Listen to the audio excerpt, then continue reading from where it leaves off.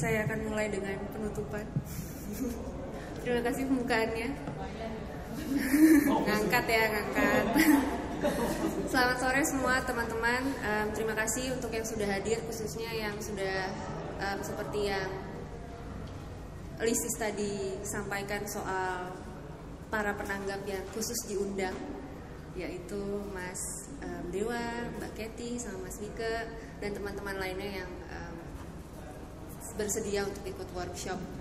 Um, seperti teman-teman bisa lihat di bagian tangga ini ada timeline atau lini masa seni rupa Indonesia yang dibuat melingkar, tapi dengan awal di sebelah kiri kalau dari sini dari tahun 1830 dan berakhirnya di kalau saya nggak salah terakhir itu tahun 2013 ya tapi waktu itu um, judul awalnya adalah sampai sekarang jadi judul presentasi saya masih 1830 sampai 2017 um, saya diundang oleh IFAA untuk um, menjadi fasilitator agar kita semua yang ada di sini bisa turut mengintervensi um, lini masa bikinannya IFAA.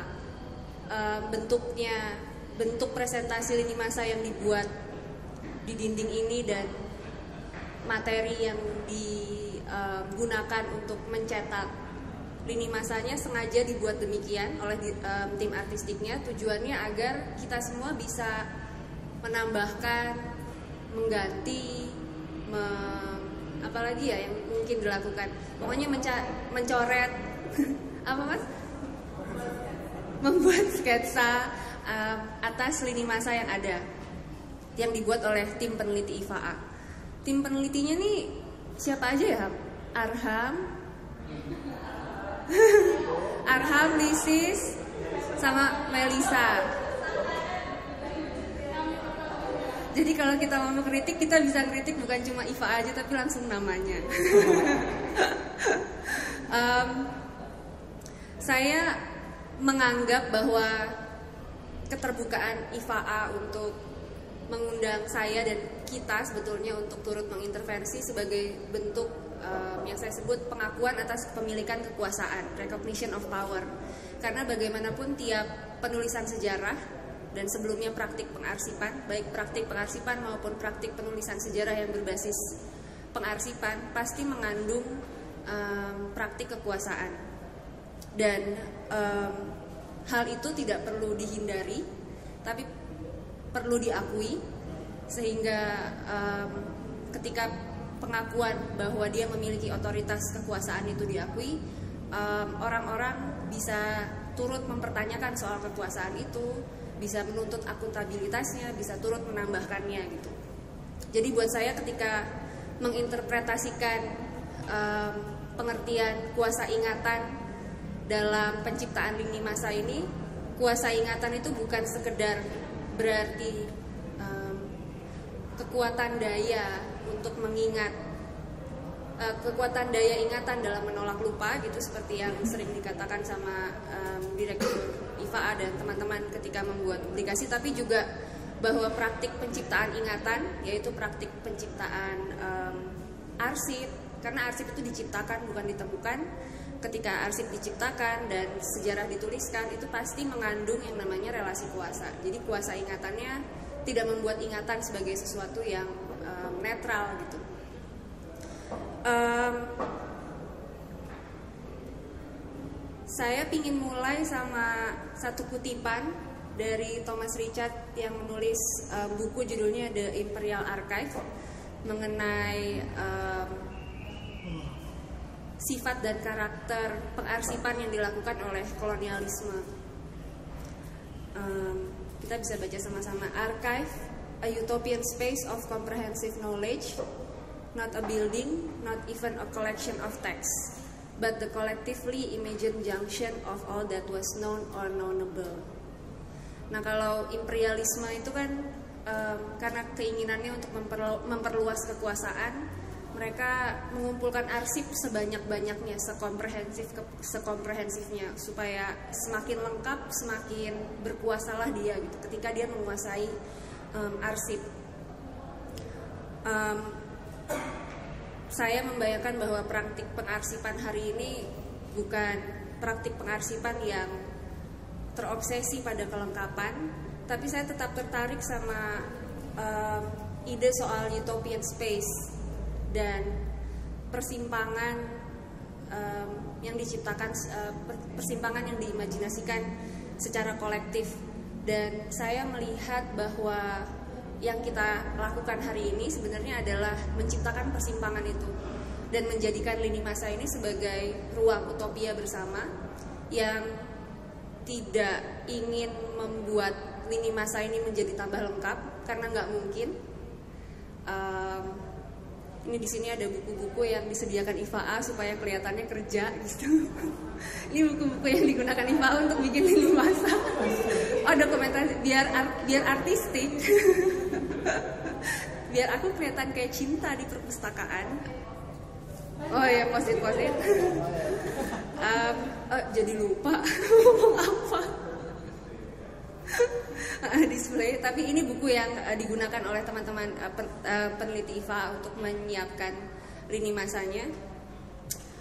Uh, tak saya melihat melihat lini masa ini sebagai utopian space untuk kita berinteraksi menyusun uh, sejarah men menyusun penulisan sejarah bersama yang berangkat dengan kesadaran bahwa tidak mungkin lengkap selalu ada ruang untuk ketidaklengkapan gitu um, uh, tidak uh, me menyadari bahwa ada ruang untuk ketidaklengkapan dan juga menyadari atau bersama-sama memikirkan soal kontradiksi-kontradiksi ketika sebuah lini masa diciptakan. Saya mencoba untuk bikin pengertian lini masa. Jadi saya memandang-mandangi lama bentuk lini masa isinya terus apa sih ini sebenarnya pengertiannya gitu yang bisa kita pahami bersama lalu saya menulisnya um, lini masa adalah teknologi pengetahuan sejarah berupa daftar peristiwa yang dianggap penting disusun secara kronologis dalam sebuah garis lurus untuk menggambarkan proses berjalannya waktu dan menampilkan yang berubah dan yang terus berlanjut. Jadi garis lurusnya yang menggambarkan proses berjalannya waktu dan menampilkan yang berubah dan yang terus berlanjut. Saya menggarisbawahi yang dianggap penting karena kembali lagi berhubungan dengan um, praktik kekuasaan dalam penulisan sejarah, khususnya ketika membuat lini masa, tentu saja si pembuat lini masanya akan menentukan apa yang dianggap penting dan dipinggirkan sehingga dia tidak masuk tanda kutip pengetahuan sejarah yang sudah dikompres jadi lini masa.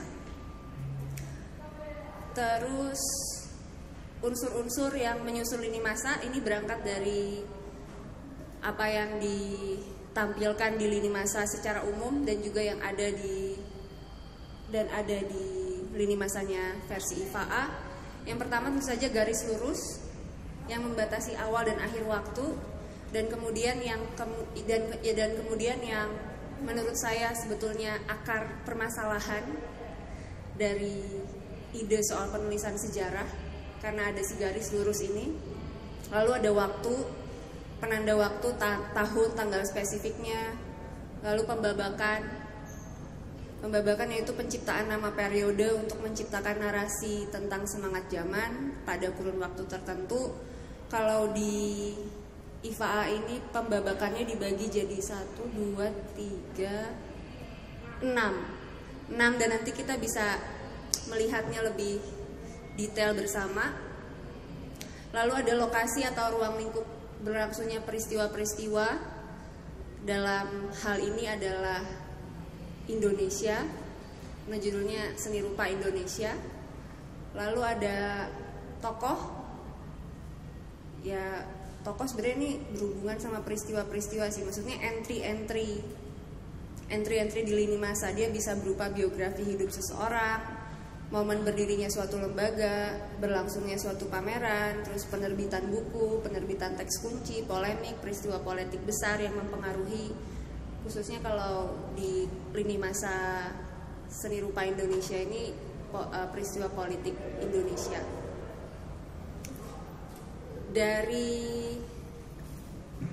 lini masa IFAA kita ya sebetulnya dari ngobrol sama teman-teman tim peneliti sih bahwa lini masa ini dibuat uh, bukan berdasarkan penelitian arsip tapi penelitian studi pustaka.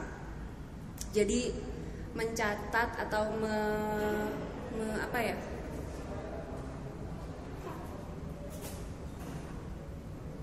Halo Bu Neni. Nggak bisa gitu Bu, udah nggak boleh masuk. um, um, aku jadi studi pustaka.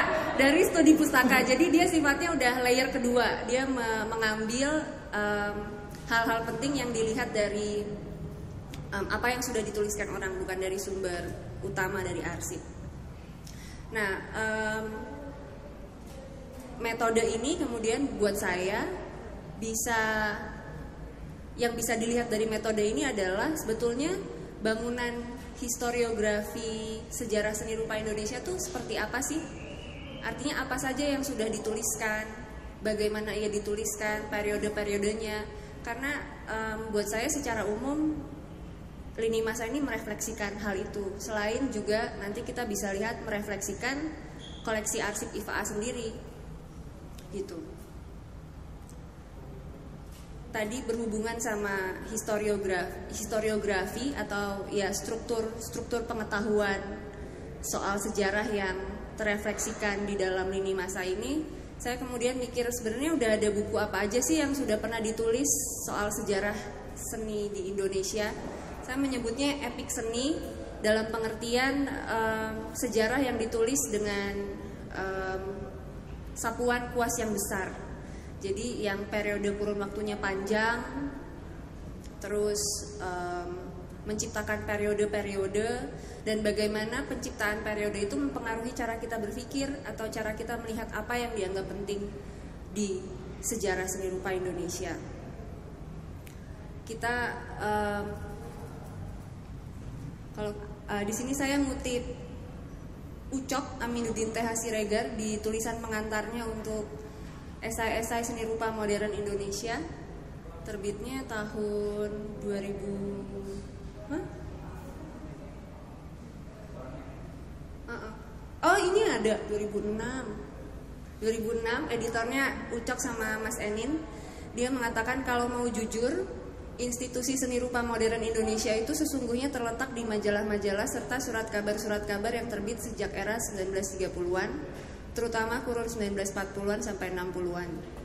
Nah, um, memang kalau di bagian sini kita bisa lihat bahwa um, penulisan penulisan penulisan awal soal sejarah seni rupa Indonesia itu kebanyakan memang terbitnya di majalah-majalah. Sampai akhirnya tahun 55 um, Kusnadi ketika dia um, menjadi semacam kurator tanda kutip untuk pameran konferensi Asia Afrika di Bandung menyambut menyambut konferensi Asia Afrika katalognya itu di katalog itu Kusnadi mulai Kusnadi menuliskan e, narasi soal sejarah seni rupa Indonesia. Dan dibagi dari dari masa primitif, masa klasik, masa mode e, bukan modern ya tapi dia mulai menyebut aliran-aliran kayak impresionisme, ekspresionisme, realisme. Dan um, kelak kemudian tahun 56 makalah um, tulisan Kusnadi itu di um, jadikan di, dikembangkan kemudian dijadikan makalah untuk seminar sejarah seni rupa pertama di Yogyakarta di UGM tahun 56. Menariknya bahwa um, seminar sejarah seni rupa Indonesia itu lebih dulu ketimbang seminar sejarah Indonesia. Seminar sejarah Indonesia itu tahun 57, sementara sejarah seni rupa Indonesia sudah dimulai tahun 56. Dan pada acara seminar itu yang juga di um, ada beberapa semacam notulensi yang dicantumkan di di um, lampiran makalahnya Kusnadi um, para seniman dan para intelektual ingin memikirkan seperti apa sih bentuk penulisan sejarah yang Indonesia sentris gitu. Karena selama ini penulisan sejarah um, western centris lalu setelah tahun 40-an sampai ini historiografinya timelinenya saya bikin berdasarkan pengetahuan saya yang belum tentu lengkap.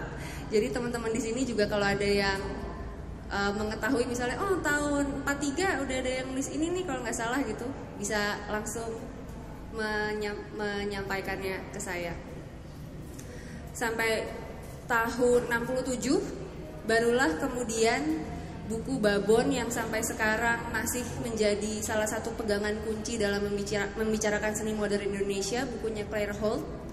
Judulnya Art in Indonesia, Continuities and Change, terbitan Cornell. Lalu di di apa? Terjemahkan itu tahun dia ada deh. Nah, ini dia. Diterjemahkan jadi melacak jejak perkembangan seni di Indonesia. Ahli bahasanya Profesor Dr. RM Sudarsono. Tahun 2000. Ini cetakan pertama bukan ya? Pertama kalinya diterbitkan dalam bahasa Indonesia tahun 67. Nah, masyarakat seni pertunjukan Indonesia. Ya, di, diterbitkan oleh masyarakat seni pertunjukan Indonesia. Mengapa? Mungkin karena um, Claire Holt ini sebetulnya latar belakangnya juga bukan pendidikan sejarah seni. Bahkan dia tidak punya gelar S1. Jadi um, Claire Holt itu hanya punya modal ijazah SMA dari Moskow dan kemudian ketika suaminya meninggal dia patah hati terus mengalami momen it pray love lalu dia ke Indonesia dan di Indonesia dia belajar tari um, Mas Ucok Aminuddin Siregar melakukan penelitian soal Claire Holt, arsip-arsip Claire Holt di Cornell dan dia mengetahui bahwa satu-satunya gelar akademis yang dimiliki Claire Holt itu sebetulnya sertifikat tari dari Krido Beksowi Romo. Apa kan? Dari Indonesia. Tapi kemudian uh,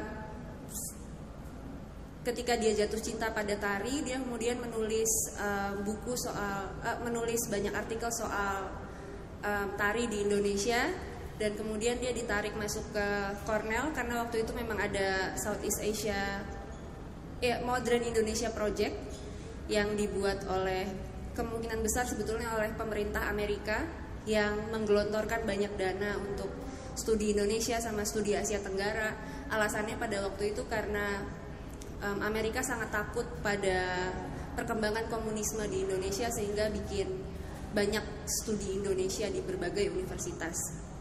Claire Holt ada di um, Cornell. Dan kalau kita lihat bukunya tadi Mas Nika sudah me, apa, menunjukkan soal si masyarakat uh, bahwa ini diterbitkan masyarakat seni pertunjukan Indonesia. Karena memang setengah dari buku ini adalah soal um, tari. Lalu buku itu ditutup dengan um, seni modern yang um, dia menyebut sedikit soal Raden Saleh tapi kemudian fokus utamanya adalah yang terjadi tahun 50-an 60-an dan metodenya sebetulnya etnografi karena uh, Claire bertemu dengan banyak sekali seniman-seniman pada waktu itu.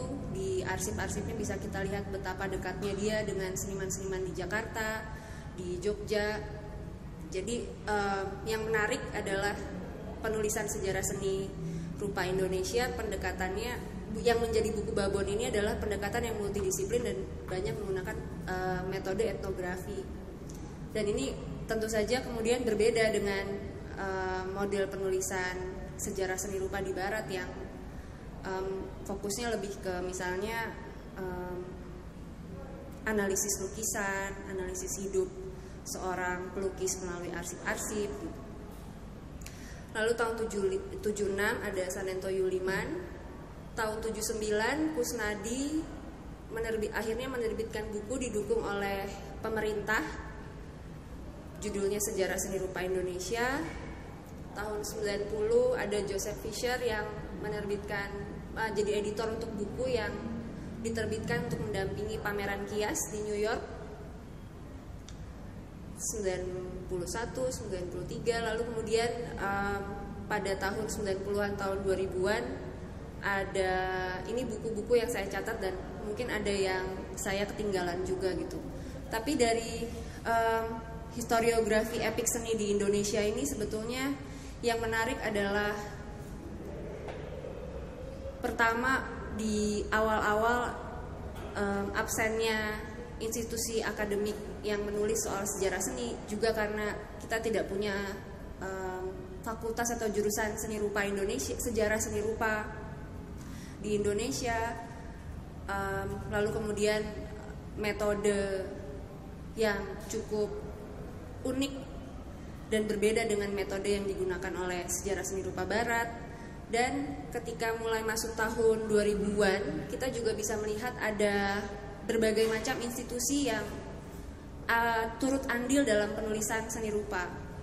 Karena pemerintah hanya yang saya tahu pemerintah hanya pernah mendukung untuk penerbitan buku tahun 80 um, tahun 79 Lalu selain sarjana-sarjana luar negeri, sarjana-sarjana yang dari Indonesia ini kebanyakan menulis entah dengan inisiatif pribadi atau dengan dukungan IFAA misalnya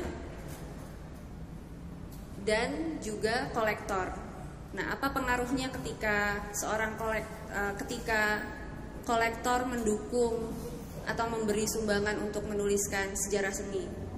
Kalau misalnya ini epic seni, kalau uh, kalau kita melihat biografi-biografi seniman modern yang ditulis kebanyakan tentu saja ketika itu didukung oleh kolektor um, ada upaya ada bentuk-bentuk kanonisasi juga sehingga kenapa kita lebih banyak tahu soal Avandi ketimbang Kartono Yudokusumo gitu.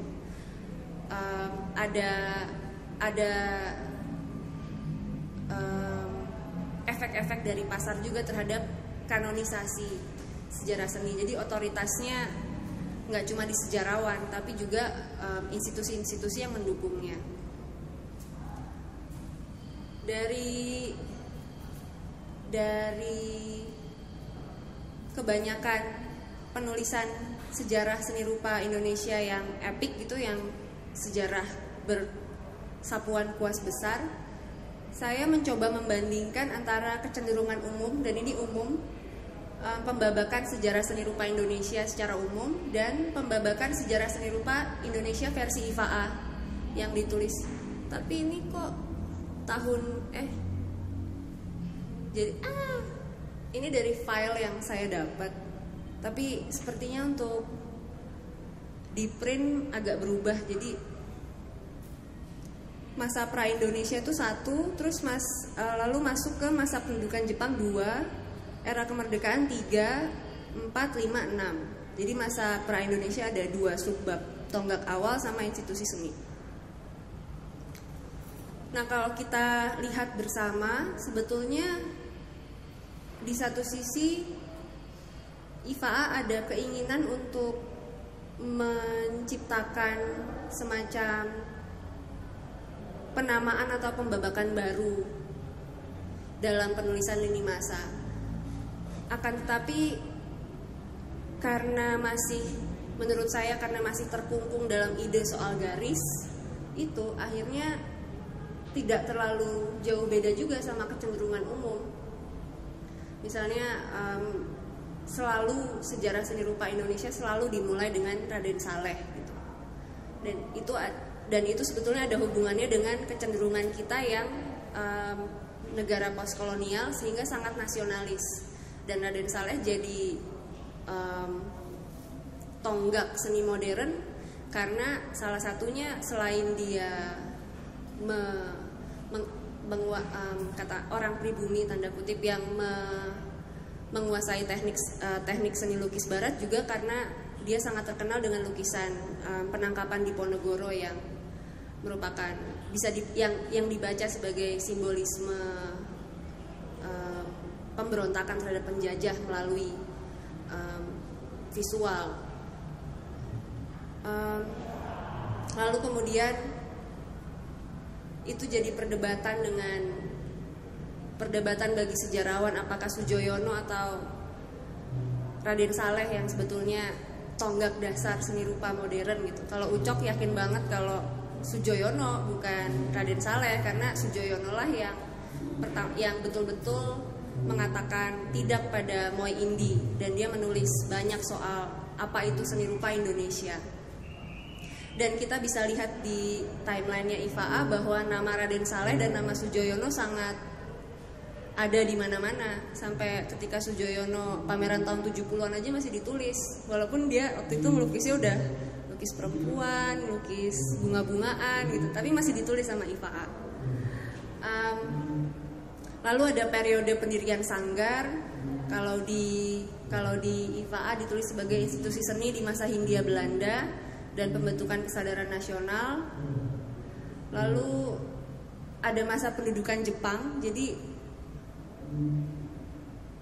IFAA agak-agak mencampurkan periode politik dengan periode artistik walaupun keduanya kemudian tentu saja saling berhubungan. IFAA juga memberi nama yang menarik menurutku tahun 1970-an seni plat merah dan seni rupa baru lalu ditutup dengan ah, belum ditutup tapi hampir penutupnya adalah dinamika pasar, pertumbuhan wacana dan institusi seni serta internasionalisme baru yang memang bagian-bagian pasca reformasi ini semua masih terus diciptakan oleh kita semua sebetulnya oleh sejarawan seni, oleh kurator untuk mendefinisikan zaman bersama. Tapi biasanya pasti hanya pasca reformasi. Tapi memang barangkali kita perlu mulai mencari nama apa nih sebetulnya pola-pola yang terjadi gitu. Nah, um, dari kesamaan kecenderungan umum um, lini masa yang ditulis oleh IFAA dan lini masa sejarah seni rupa Indonesia secara umum, saya melihatnya bahwa ada satu teleologi yang sama dalam penulisan sejarah seni rupa Indonesia, artinya awal dan akhir yang kurang lebih sama.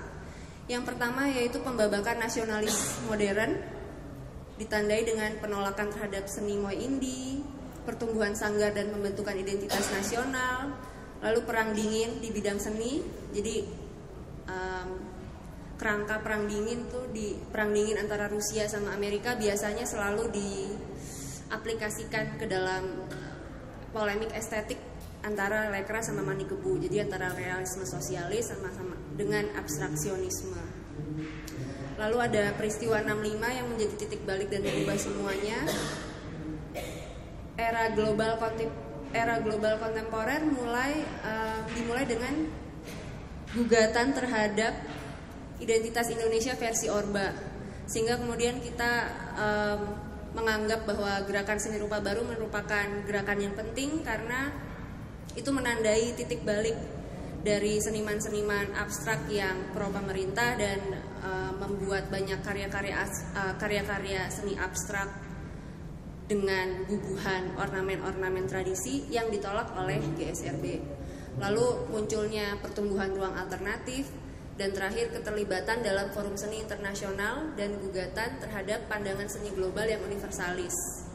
Salah satunya misalnya Jim Supangkat yang membayang uh, yang mengkonseptualisasikan turut mengkonseptualisasikan contemporaneity sebagai um, Indonesia seni Indonesia sebagai apa istilahnya yang dia pakai bahasa Jawa itu bahasa Kawi istilah seni yang dipakai sama James kagunan untuk mengatakan bahwa menggugat seni rupa barat dengan membawa identitas seni kagunan gitu. Akan tetapi teleologi ini sebetulnya bisa kita terima bersama sebagai satu apa pengetahuan umum soal seni rupa Indonesia. Akan tetapi ada masalah juga nih dari tele teleologi seperti ini. Dan tawaran saya sebetulnya hari ini adalah untuk uh, melihat apa aja sih yang terpinggirkan gara-gara teleologi ini. Karena kemudian orang membuat penelitian juga dengan cara dengan dengan dengan tele, teleologi konsep-konsep seperti ini. Nah, um, saya mau memulainya dengan ini. Cara-cara ini tawaran saya dan nanti teman-teman juga bisa mengkritik atau menambahkan kemungkinan-kemungkinan cara lain. Cara-cara untuk mengusik narasi teleologis. Suaranya itu dari mana ya? Oh ya oh um, yang pertama ialah mengusik soal pembabakan waktu itu sendiri antara yang tradisional sama yang modern. Kalau kita lihat di sini ini lukisan anonim mungkin Mas Dewa bisa turut membenarkan kalau aku salah. Tapi ini aku pinjam dari Adrian Vickers. Kalau kita lihat ini lukisan yang judulnya Semara Dahana tahun 1880 dan kita bandingkan dengan lukisannya Avandi Barong Dance yang sering dianggap sebagai um, salah satu ikon lukisan modern lah karena gayanya yang abstrak ekspresionisme menawarkan sesuatu cara pandang baru gitu. Akan tetapi melihat kedekatan visual antara yang pernah dibuat oleh seorang seniman Bali pada akhir abad 19 dengan yang dibuat oleh Avandi pada abad 20 dan dianggap sebagai ikon seni modern, maka um, kita bisa mempertanyakan lagi sebetulnya apa sih yang apa yang menandai ide modern gitu. Dan apa yang apa yang menandai tradisional. Jangan-jangan itu memang satu kerangka fiksional yang dibuat.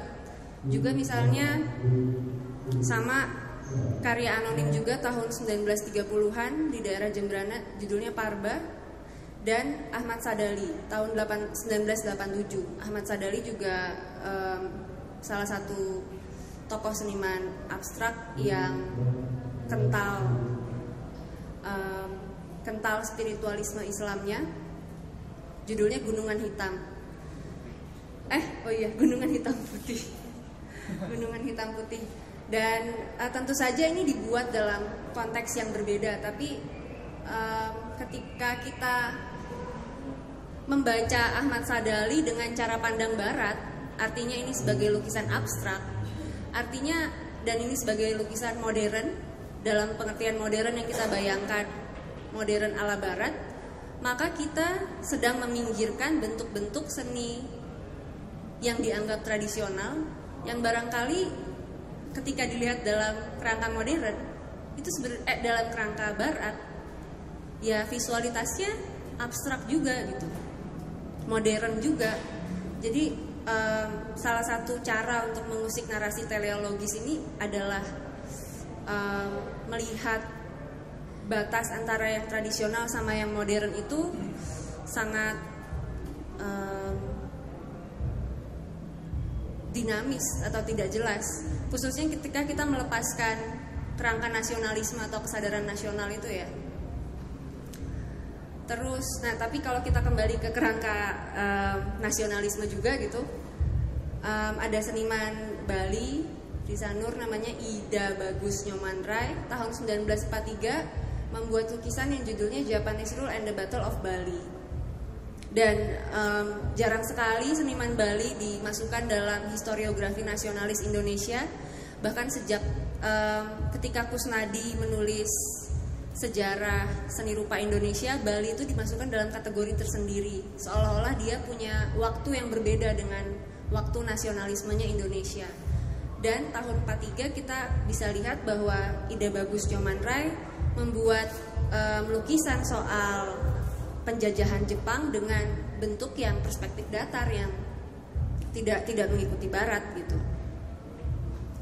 Itu satu cara yang saya anggap untuk memperumit waktu dalam lini masa. Artinya um, lini masa kontemporer um, saya um, menyetujui ide bahwa kontemporer adalah mengikuti etimologinya kontemporer sebagai con together with dan temporer waktu jadi together together with time di mana berbagai per, uh, berbagai berbagai macam waktu masa lampau masa kini dan gagasan soal masa depan itu berkumpul di satu mungkin kolektif junction gitu sehingga lini masa yang dibuat dengan garis itu seperti tidak lagi mampu menampung semangat kontemporer.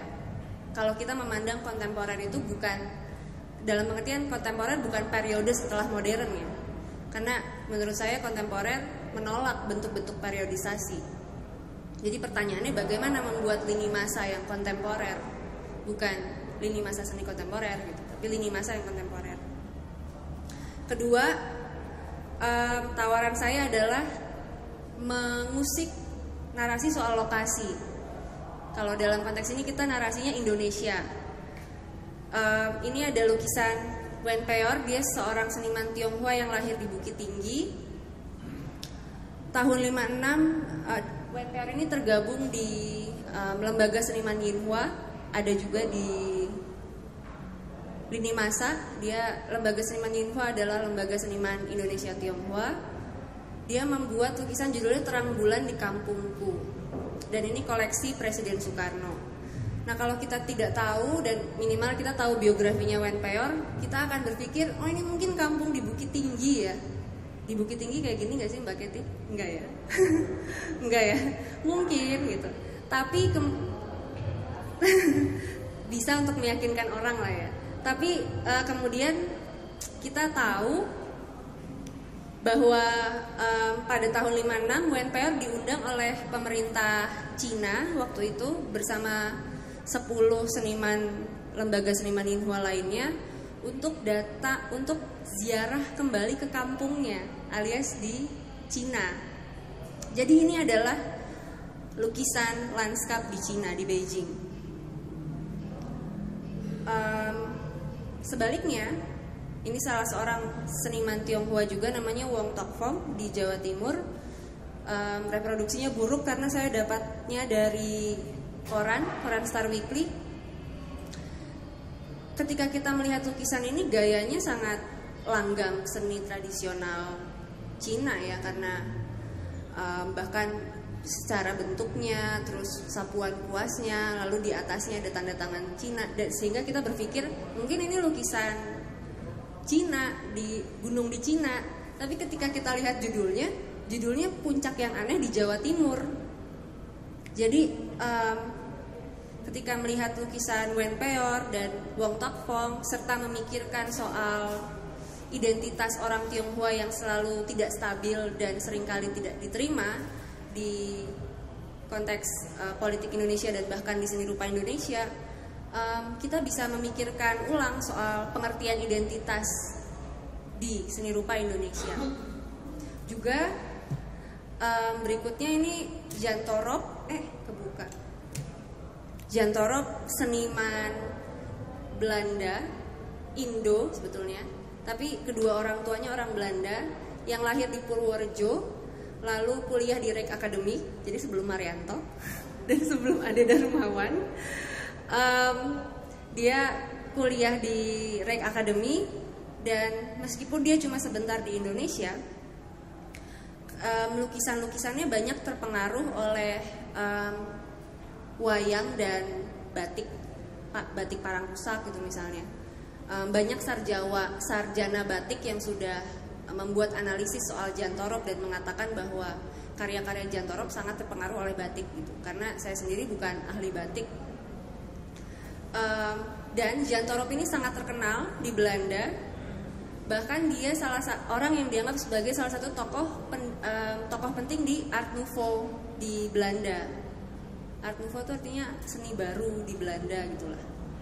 Sama juga dengan um, Chris Lebow ini juga seniman Belanda sebetulnya yang da yang sempat datang ke Indonesia. Ini ada di buku sini.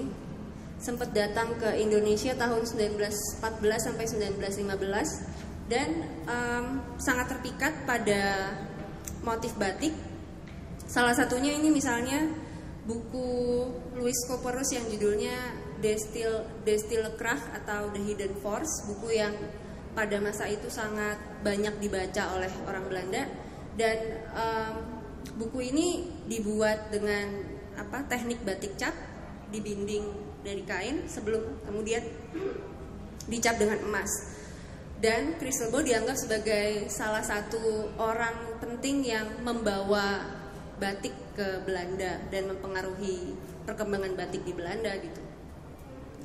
Dia juga berkawan akrab sama tokoh nasionalis kita Suwardi Suryaningrat dan saya memasang um, karya Cukil ini karena pun, uh, ada cerita yang menarik yang pernah ditulis oleh uh, Matt Cox. Dia meneliti soal potret di Jawa dan ceritanya ternyata ini ketika Suwardi berada dalam kondisi pengasingan di Belanda. Lalu um, Suwardi ketika mau pulang tahun 1919 dia datang ke Crystal Bow lalu dia bilang kalau dia nggak punya uang untuk pulang. Bisa nggak kamu gambar foto saya uh, gambar potret saya? Lalu kamu publikasikan di majalah Amsterdamer namanya. Majalah Amsterdamer. Nanti uangnya buat saya dan Chris Lebo melakukan itu. Jadi foto uh, jadi karya ini adalah karya yang membuat Suwardi bisa pulang lagi ke Jawa. Gitu. Um, maksud saya untuk menampilkan figur-figur yang juga Indonesia yaitu um, um, seniman Tionghoa dan seniman Indo adalah seniman Indo khususnya ketimbang seniman Tionghoa. Kalau seniman Tionghoa untungnya kita punya Liman Fong, kita punya Efek Sarsono, kita punya Titi Mulia. Tapi um, seniman Indo selain Mela Jarsma, Mela Jarsma seolah-olah nggak punya sejarah gitu loh. Dia perempuan pertama, perempuan Belanda pertama.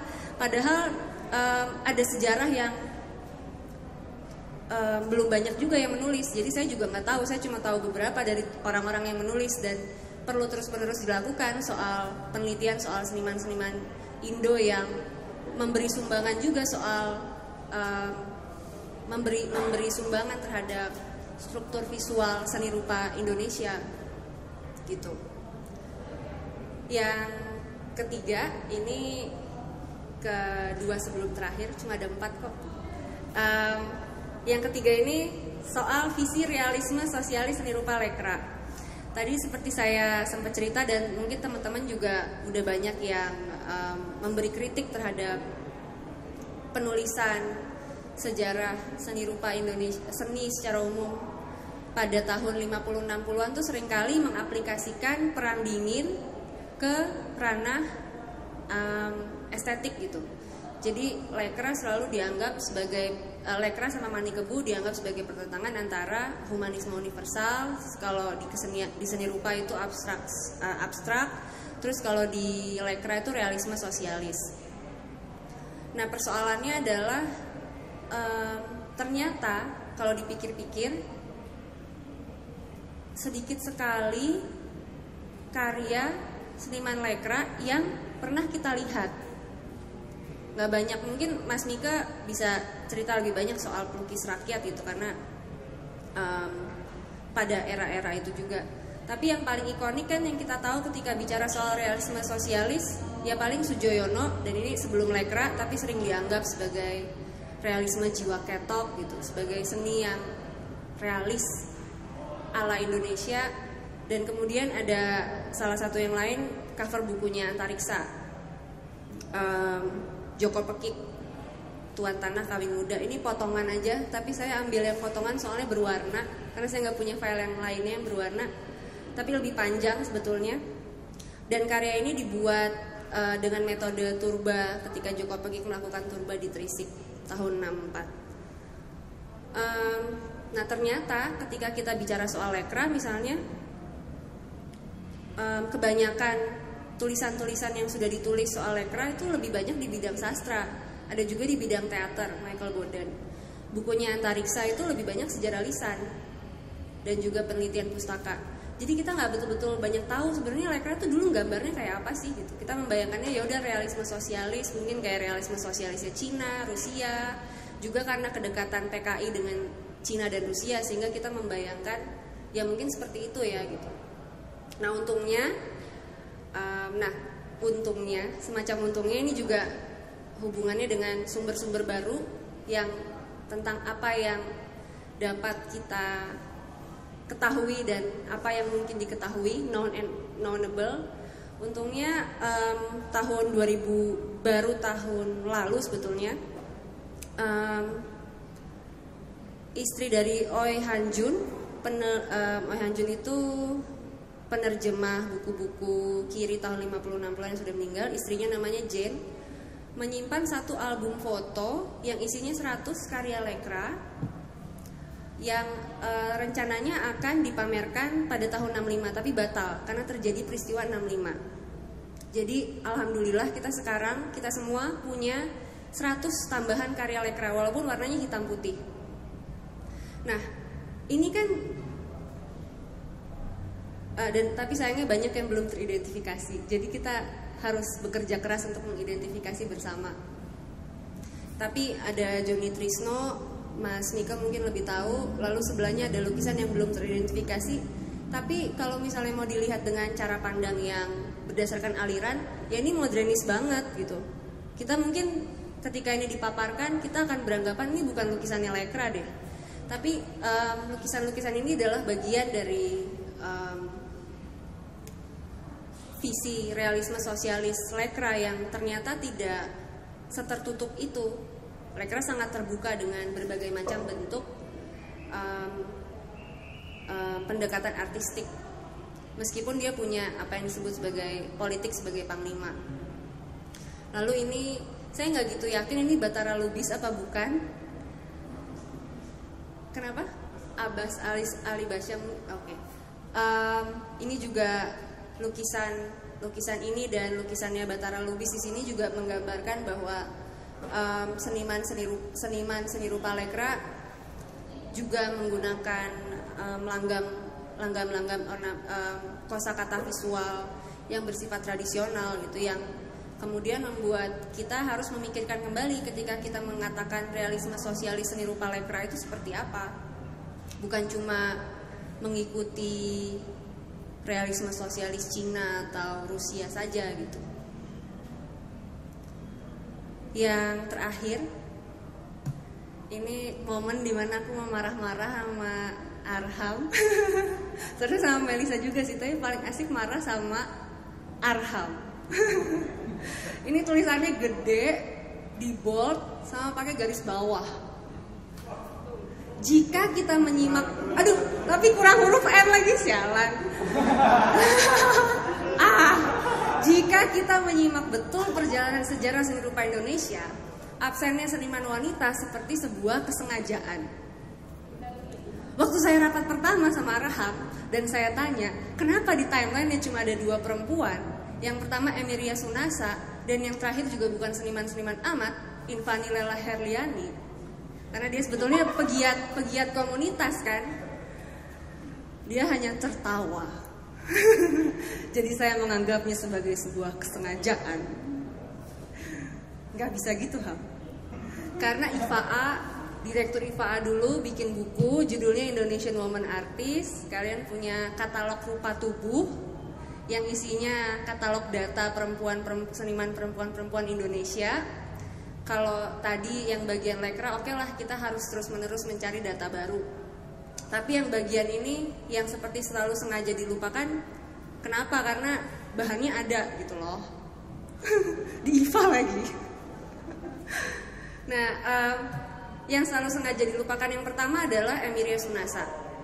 Dia memang ditulis di sini di timeline ini. Um, tapi orang-orang harus lebih banyak tahu lagi soal Emilia Sunasa, seniman perempuan Indonesia yang sa sangat misterius sebetulnya.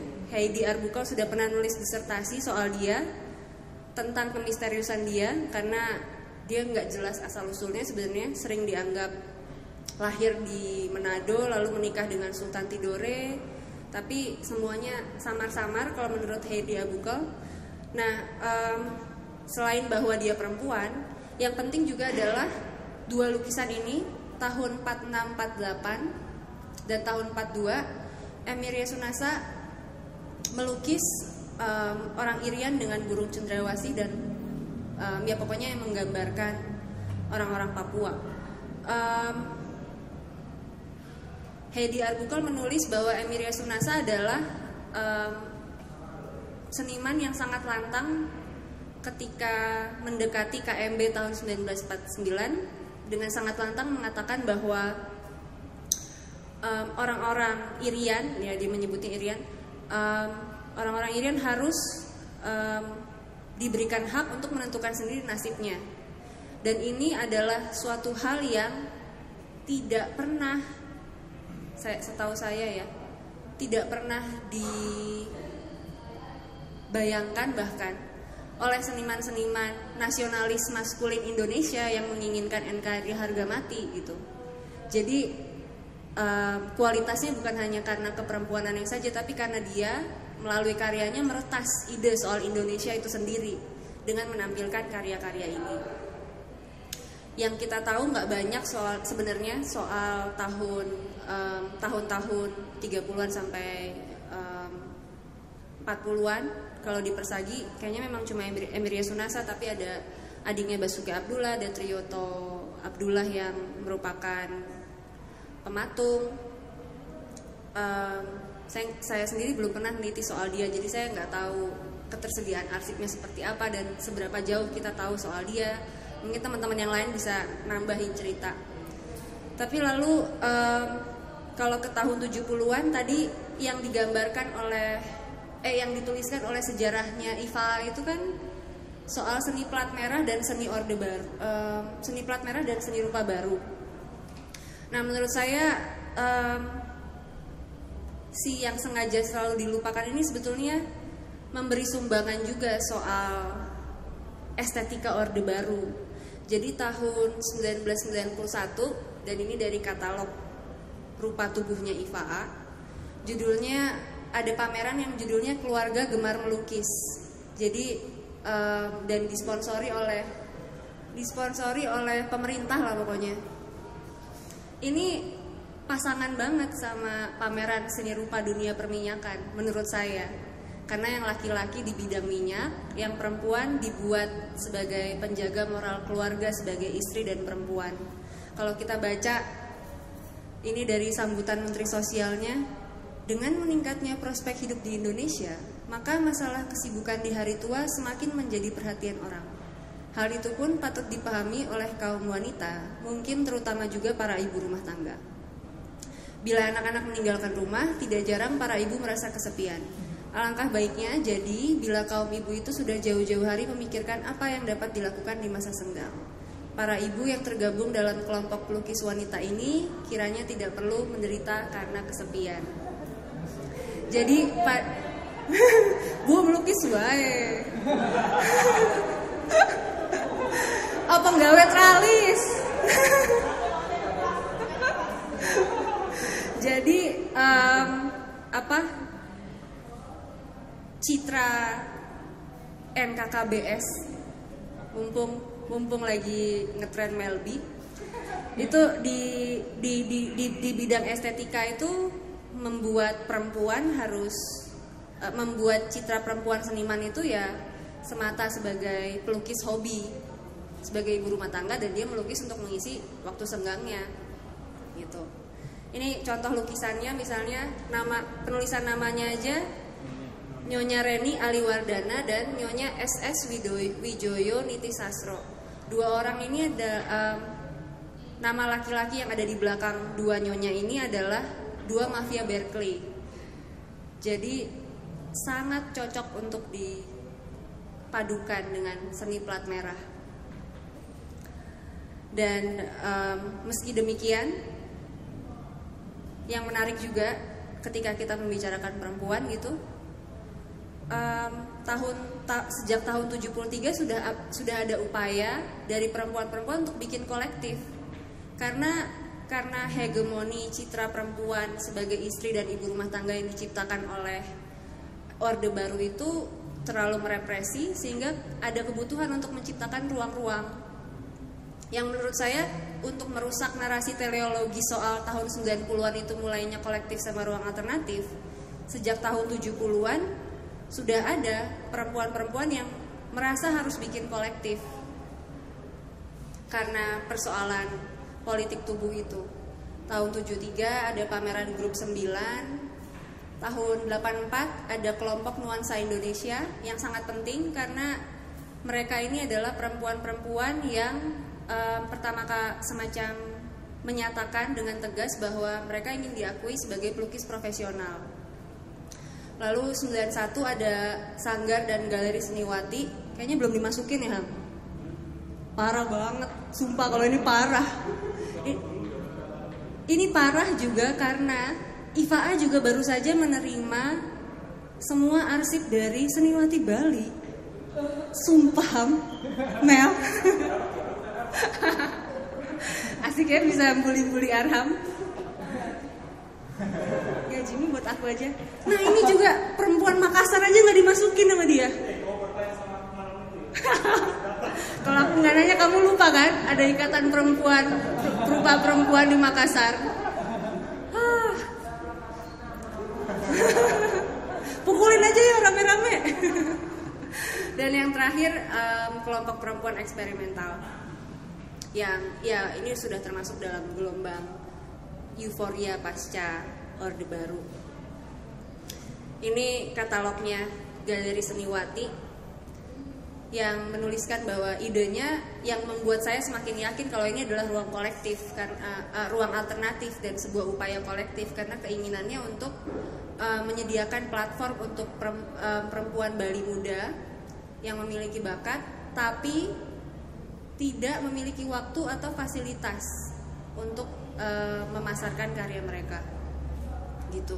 Dan dari karya-karya ini ada apa ini tahun 91 ada upaya-upaya untuk um, meretas hegemoni citra istri dan ibu rumah tangga yang baik di era Orde Baru. Kita semua mungkin udah tahu I Gusti Kadek Murniasi, sudah sangat terkenal dan satu lagi Amalia Amini ini judulnya di katalog itu ada karya yang judulnya Woman and Burden.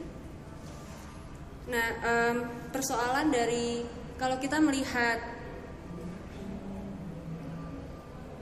karakter penulisan lini masa IFA atau secara umum kan pada era-era 30 dari era Raden Saleh sampai kurang lebih Sujoyono yang modern itu sangat bergantung sama tokoh. Fokus sama tokoh.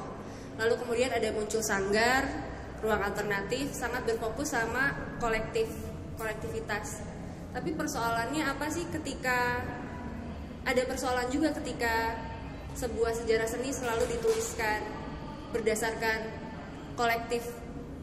Khususnya ketika tahun 98 kan di di di lini masa ini tiba-tiba semua jadi soal kolektif gitu. Nggak ada lagi ruang untuk seniman-seniman individu.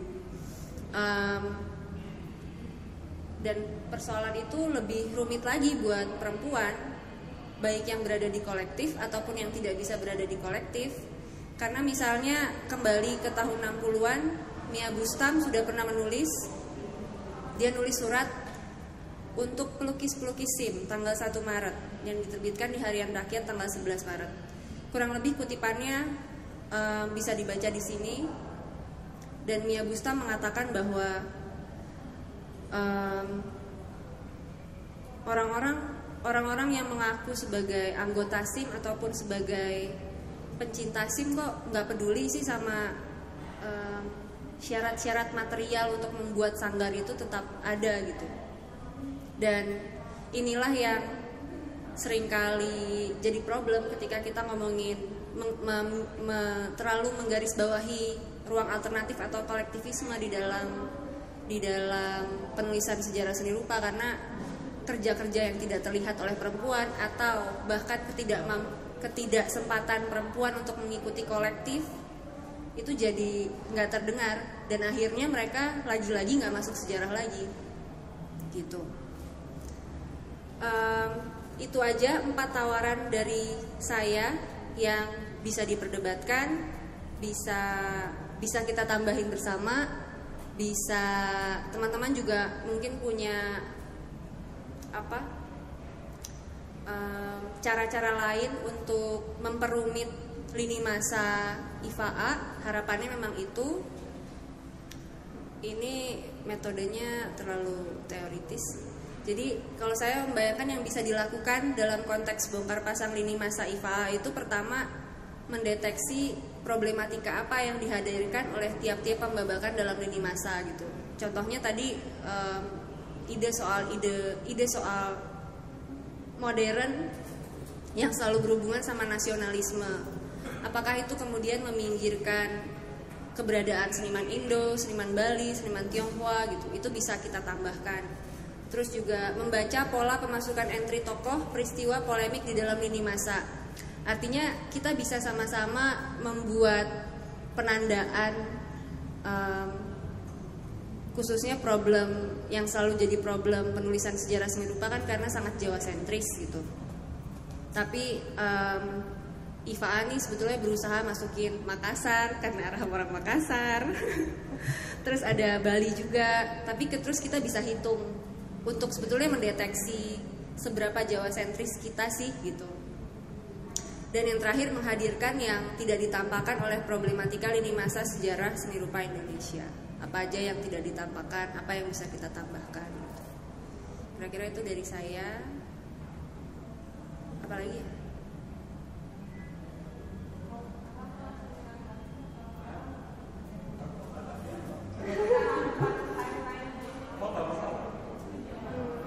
Jadi timelinenya Minta maaf sama seniman perempuan Indonesia.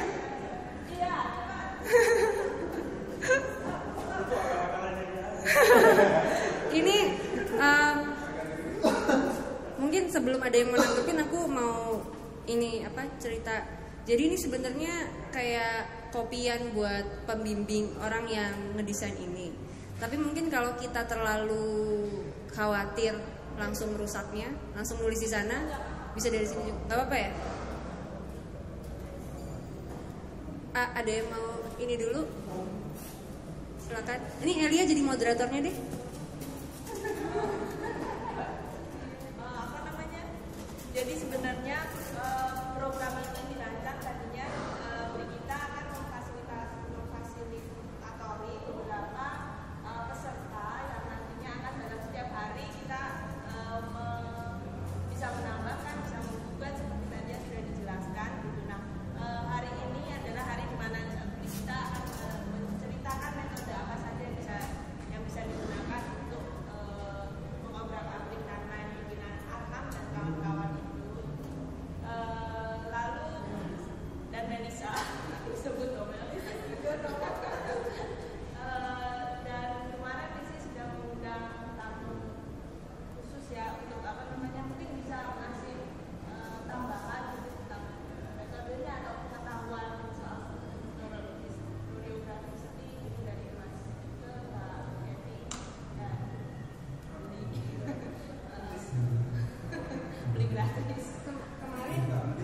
khususnya um, waktu ngobrol-ngobrol soal siapa yang diundang gitu saya kepikiran um, pertama Mas Mika Susanto tentu saja karena Mas Mika juga salah seorang praktisi sejarah seni. Lalu sudah menulis buku soal Bung Karno dan koleksinya. Itu juga hal yang belum belum masuk ke pembahasan saya sama sekali. Mungkin Mas Mika bisa cerita um, bagaimana efek Soekarno dalam penciptaan kanon-kanon sejarah seni rupa misalnya dan dan apa sih yang kemudian jadi nggak ditampakkan? Kalau misalnya nggak dikoleksi sama Soekarno terus dia jadi nggak masuk sejarah gitu kan misalnya. Ada nggak yang kasus yang menurutmu sangat ekstrim itu? Lalu ada gue buka jaket dulu nih. Aku orang ngajak gelut loh mas. Ngajak gelut yang ini. Terus ada Mbak Kety yang saat ini sedang melakukan um, penelitian untuk penelitian doktoral tentang seniman Sumatera Barat dan ada Dewa yang katanya udah nyari kepean sejarah seni rupa Bali ya. Jadi aku sendiri um, pengetahuanku soal sejarah seni rupa Bali juga sangat terbatas. Jadi kalau kamu juga mau berbagi pengalaman atau perasaanmu soal ketika membaca lini masa sejarah seni rupa Indonesia secara umum gitu gimana itu sih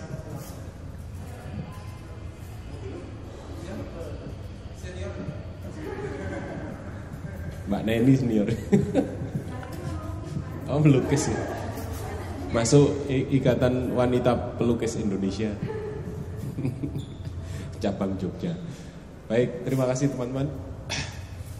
Selamat sore semuanya dan eh, kita berada di satu satu momen bersejarah.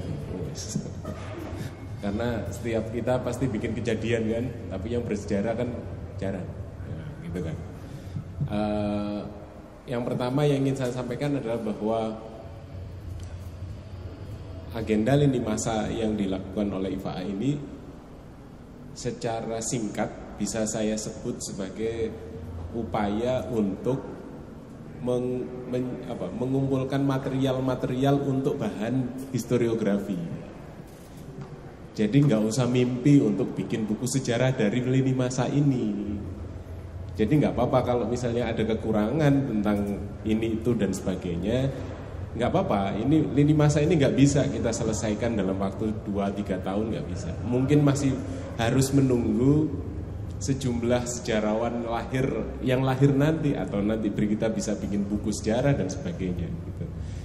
Itu catatan pertama saya karena uh, uh, sulit loh bikin kayak gini nih. Butuh tiga orang kan? Paling enggak paling empat kan? Nah paling enggak itu. Tapi upaya ini kan memang masih bersifat bersifat uh, parsial ya parsial. Jadi perlu perlu terus menerus melakukan uh, diskusi semacam ini dengan berbagai berbagai stakeholder yang yang muncul.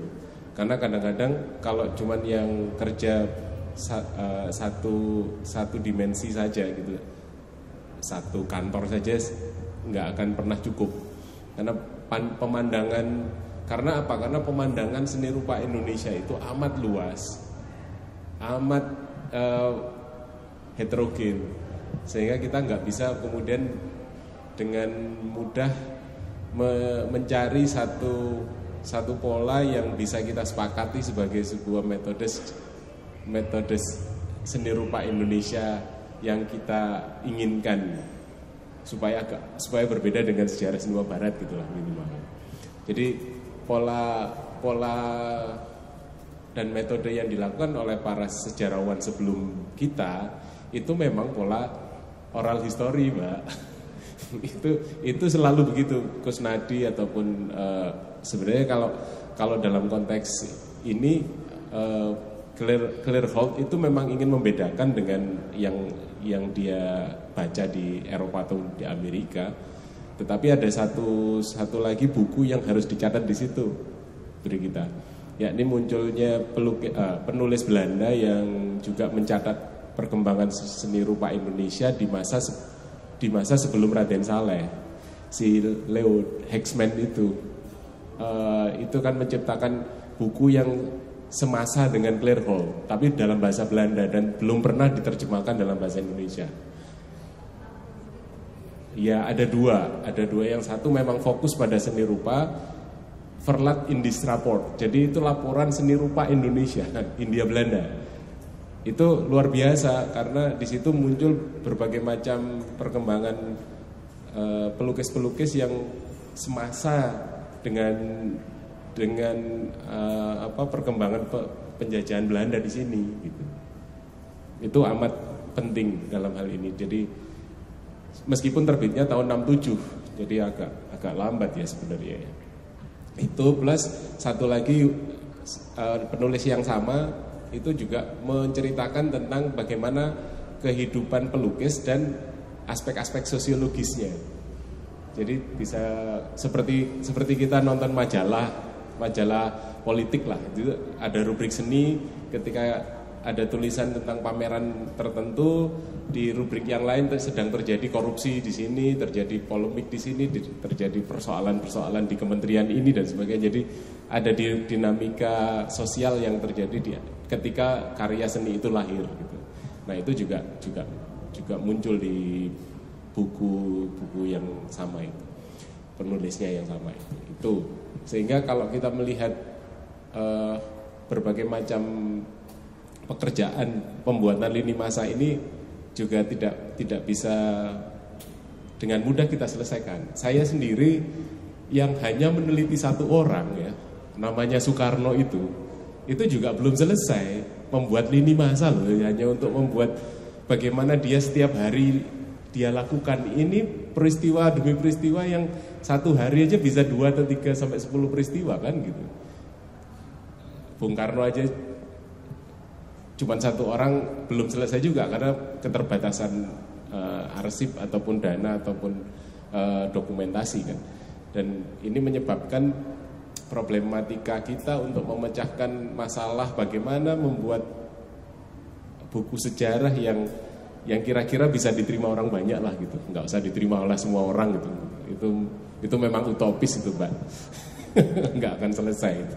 dan dan memang per, pergolakan demi pergolakan yang terjadi di, di Indonesia itu sementara ini saya nambah opinimu ya.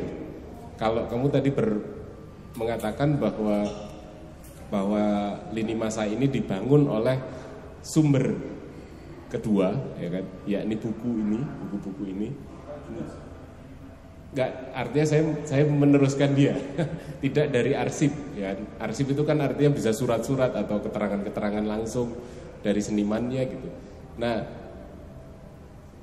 ada ada yang mungkin perlu ditambah lagi di di presentasimu tadi kita yakni munculnya katalog tadi sebenarnya kan katalog itu juga menjadi sumber pertama juga sebenarnya. Meskipun kita perlu cek and recheck dalam proses penelitian apakah benar ini katalog ini tidak ada persoalan gitu ya. Itu itu selalu kita lakukan. Jangankan katalog atau buku yang yang kita lihat setiap hari ini. E, buku koleksi Soekarno yang lima jilid yang sampai hari ini kita percaya itu kesalahannya banyak kesalahannya luar biasa kira-kira sampai 20 ralat yang harus kita lakukan jadi buku yang nggak ada teksnya loh itu cuman lukisan sama judul sama nama seniman itu aja sudah salah gitu. Jadi memang harus hati-hati untuk me melakukan uh, penggunaan atau pemakaian dokumen-dokumen semacam ini. Itu itu yang juga juga penting. Dan karena saking saking luasnya pemandangan seni rupa Indonesia itu sejarawan juga pasti harus harus menentukan tujuan pembuatan buku ini kok. Kita nggak bisa kemudian merangkum semuanya. Dan yang yang bisa kita lakukan hari ini menurut saya adalah sebisa mungkin se, sebanyak mungkin melahirkan sejarah-sejarah minor dulu. Saya melakukan riset terhadap Soekarno itu tujuannya untuk mencatat sejarah minor dulu tentang Soekarno aja jadi dalam hal ini Soekarno nggak pernah di, disebut sebagai orang penting bahkan mungkin dalam sejarah seni rupa Indonesia. Hanya disebut dia kolektor gitu, selesai gitu. Nah sejarah minor ini penting karena dia akan membangun lama-lama persoalan persoalan besar yang yang kita kita hadapi hari ini. Sehingga ketika saya melakukan riset tentang Soekarno dan koleksinya, lama-lama lama-lama terasa bahwa urusan seni akhirnya menjadi urusan nasional. Bukan hanya urusan seni rupa gitu. Bukan hanya sejarah seni rupa, ternyata direspon oleh para sejarawan menjadi bagian dari sejarah mayor, sejarah besar Indonesia gitu. Itu aku nggak ngerti apakah itu sebuah di apa dinamika yang membuat membuat seni itu akhirnya harus dilihat oleh para sejarawan e, politik gitu atau dan sebagainya. Itu efek yang yang bisa kita terima dari pengalaman itu. Nah, tentang keberadaan Soekarno uh, tentu penting karena Claire Holt menyebutkan itu. Kalau tidak ada koleksi Soekarno, Claire Holt nggak bisa bahas.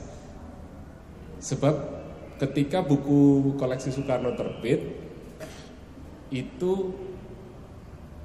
bisa dikatakan lebih kurang materi sejarah seni rupa sudah terrangkum. Materi, materi belum jadi buku sejarah. Artinya buku koleksi Soekarno itu kan akhirnya menjadi penopang apa fondasi ya. Fondasi bagi sejarawan seperti Kusnadi, Sanento maupun Clairvaux maupun uh, yang lain yang pasca uh, mereka gitu.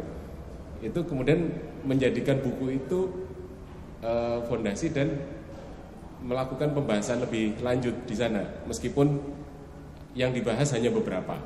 Soekarno punya 2000 lukisan tapi yang dibahas kurang dari satu persen bahkan gitu di buku Clear Hold itu. Hanya beberapa aja yang dibahas. Dan nah ini menandakan bahwa uh, kita masih masih punya apa punya masalah dengan uh, persoalan bagaimana seni rupa Indonesia ini harus berdiri tidak ditopang oleh satu sosok yang amat berkuasa ini kan gitu. Ucok juga pernah mengatakan kepada saya juga pameran koleksi istana itu sebenarnya milik siapa sih gitu? Itu milik seniman apa milik Soekarno? Atau milik negara? Karena selama ini orang selalu curiga bahwa bahkan bukan kita yang curiga. Orang sekretariat negara itu selalu meminta saya sebagai kurator, Mas Mika jangan sampai kelihatan Soekarno-nya ya. Loh, ya gimana ya? saya ingin berusaha mencoba menetralisir itu Soekarno, tapi tidak bisa kan? Karena kalau nggak ada Soekarno juga nggak ada koleksi, nggak ada nggak ada pameran ini kan? Sehingga mau tidak mau sanggahan atau kritik ucok bahwa kalau semakin kita pamerkan koleksi Soekarno yang dapat nama Soekarno terus, bukan pelukis-pelukisnya bahkan gitu. Di mana posisi pelukis ini di di mata sejarawan sebenarnya? Apakah apakah dia uh, Soekarno itu menjadi menjadi bahan bahan utama meskipun tidak pernah dibahas bahkan oleh Kreol. Bagaimana dari mana Soekarno mendapatkan koleksi-koleksi itu kan nggak pernah ada yang pernah membahasnya. Nah malah justru yang membahas adalah orang-orang yang mungkin belum disebut oleh Brigita, Agus Dermawante kan gitu. itu itu sosok penulis yang rajin menulis sejarah minor yang membangun membangunkan kita dari apa uh, kelupaan tadi ya banyak menulis tentang pribadi-pribadi yang kadang-kadang di luar perkiraan kita menjadi bagian eh ternyata menjadi bagian penting dalam perkembangan seni. Itu catatan berikutnya adalah persoalan lini masa ini kan amat bergantung pada memang cara pandang si peneliti sih. Jadi tidak bisa tidak kita akan mengarah pada persoalan peneliti dan koleksi arsipnya uh, saya dan Ucok tergabung dalam satu tim yang kemarin mendapatkan tugas untuk membuat lini masa Museum Seni Rupa dan Keramik. Persoalan pertama adalah bukan pada kolek, bukan pada museumnya, eh, bukan pada pembuatan lini masanya, bukan, tetapi pada positioning museumnya. Jadi Museum Seni Rupa dan Keramik ini di mana sesungguhnya dalam peta perkembangan seni rupa Indonesia. Karena sebelum ada Museum Seni Rupa Keramik, Galeri Nasional sudah bikin museum museum yang yang me, apa, meletakkan koleksinya sebagai bagian dari wacana seni, sejarah seni rupa Indonesia versi Kusnadi. Ya kan? Benar yang ada di atas itu, di gedung B lantai atas itu. Nah, istana sendiri punya koleksi yang luar biasa yang tidak bisa masuk galeri nasional. Sehingga saya membedakan galeri nasional itu sejarah seni rupa Indonesia, anggaplah begitu ya. Secara anu aja e, sembarangan begitu. Sedangkan di istana itu bagian juga dari galeri nasional karena koleksinya yang banyak sesungguhnya ada di, di istana. Nah, mengenai posisi se, se, museum seni rupa dan keramik yang Eh, selama ini mengambil bagian pula yang diambil oleh Galeri Nasional. Jadi Museum Seni Rupa dan Keramik itu menjadikan sejarah seni rupa versi Kusnadi sebagai story lainnya. Sehingga kami bertugas untuk mengubah itu. Bagaimana kemudian seni Museum Seni Rupa dan Keramik memiliki lini masa tersendiri. Nah, artinya apa? Yang kami lakukan adalah berorientasi pada koleksi museum seni rupa dan keramik saja, tidak usah mengikuti galeri nasional maupun istana maupun museum-museum kolektor itu gitu bisa. Karena pada dasarnya koleksi yang ada di museum seni rupa dan keramik itu ternyata menurut kesimpulan yang uh, kami lakukan, kami riset ternyata museum seni rupa dan keramik itu adalah museum seni rupa Jakarta sehingga kita bisa bayangkan bahwa bahwa lini masa sejarah seni rupa Indonesia itu itu menjadi bagian besar yang mengalir terus menerus gitu. Perubahannya seperti arus sungai yang alirannya sangat cepat gitu dan kita hanya mengambil se, se seciduk aja untuk kita kita minum. Sehingga dalam hal ini mendingan uh, IFA membuat material itu aja, material sejarah. Sehingga nanti kalau misalnya memungkinkan ada seminar sejarah seni rupa yang kedua gitu ya, agak tahu di mana dan kapan. itu bisa bisa para para apa para pekerjanya bisa langsung memutuskan jadi gitu nggak usah nggak usah memulai seperti halnya Iva lakukan gitu. nah ini ini yang perlu dipakai uh, sebagai latar belakang kita untuk obrolan lebih lanjut. Mengenai pelukis perempuan saya kira udah habis-habisan dibahas. Jadi saya kira persoalan apa perempuan perupa ini memang harus menjadi arus tersendiri. Meskipun nanti di luar itu ada ada apa uh, medan seni yang lain di, di entah di Bali, Makassar, Papua dan sebagainya yang ser, sering kali kita memang berorientasi ke Jawa ya. Saya sudah sudah men, pernah menulis orientasi kita sebenarnya di tiga di tiga pulau sebenarnya seni rupa kita itu Jawa, Sumatera dan Bali. Gitu itu yang selama ini mengikuti pola pola yang ditetapkan atau yang per, sering kali di apa dipakai oleh penjajah Belanda dalam mempromosikan Hindia Belanda. Jadi yang namanya Hindia Belanda itu cuma tiga pulau itu. Meskipun di di Sulawesi, Papua dan sebagainya itu juga sama indahnya, cuman yang beradab cuma di tiga pulau itu katanya. Jadi promosi poster-posternya itu sering kali cuma tiga pulau. Jadi memang uh, sejarah seni rupa Indonesia kita memang warisan warisan itu. Nah, saya setuju dengan usulan uh, Brigita soal bagaimana memulai se sejarah seni rupa Indonesia mungkin tidak tidak kemudian me, apa, memak, menggunakan Raden Saleh sebagai bagian utama. Jadi memang berat untuk menerobos dinding besar sejarah yang sudah dibentuk oleh para pendahulu kita untuk tidak menggunakan Raden Saleh sebagai pelopor. Tetapi kemungkinan itu ada. Meskipun kita harus terus berdiskusi lebih lanjut plus dengan munculnya banyak arsip-arsip baru yang ditemukan itu saya kira juga penting. Kalau tadi Brigita banyak mengekspos tulisan-tulisan yang uh, yang muncul pada era 43 ke sekarang itu sebenarnya kan kita juga perlu bertanya siapa penulis tentang Raden Saleh yang pertama kali ya kan? Itu kan ternyata juga masih sampai hari ini antara Werner sama Ucok gitu juga masih gontok-gontokan. Ternyata tahun 1890 sekian tuh ada tulisan tentang Raden Saleh.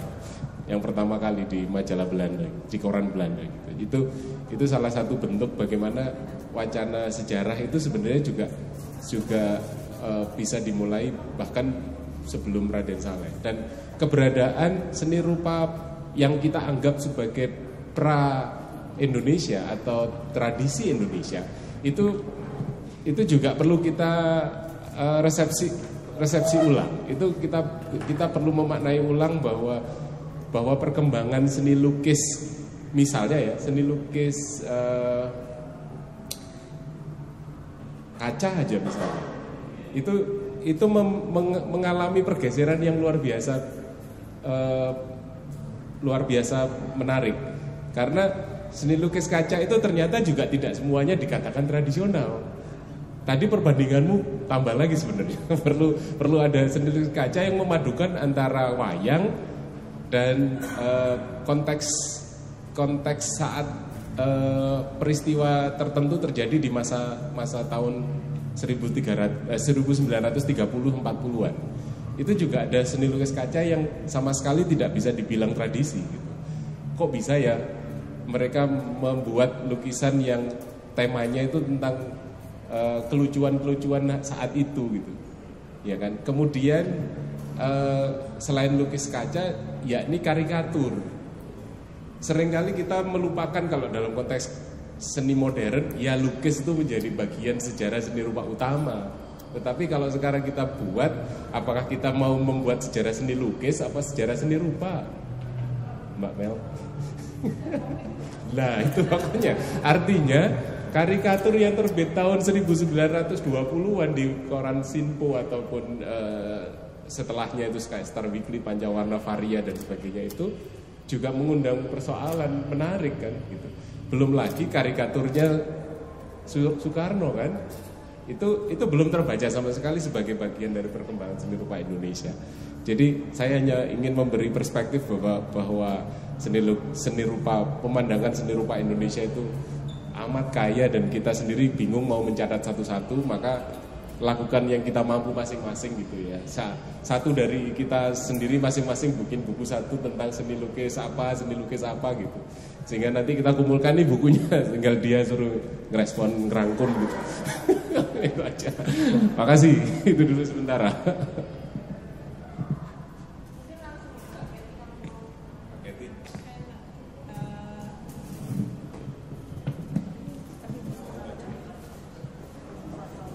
Di sini bisa. Apa ya mungkin kalau dibandingkan sama Mas Mika tidak ada banyak masukan mungkin sedikit saja. Um, apa ya untuk yang mungkin tidak tahu tentang penelitian saya uh, selama tahun ini saya fokus sama sejarah seni rupa Sumatera Barat di Sumatera Barat dan juga di Jogja.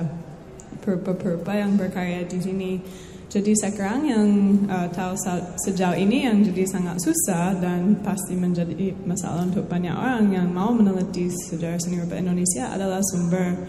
Kalau di Sumatera Barat sejauh ini saya belum ketemu banyak apa ya clipping atau apa yang bisa membantu dengan perkembangan pengetahuan tentang apa yang pernah terjadi di sana. Jadi apa ya? Jadi bagaimana kalau misalnya mau meneliti di daerah di mana pun yang mungkin tidak ada arsip yang lengkap itu yang juga apa ya kita harus memperhatikan.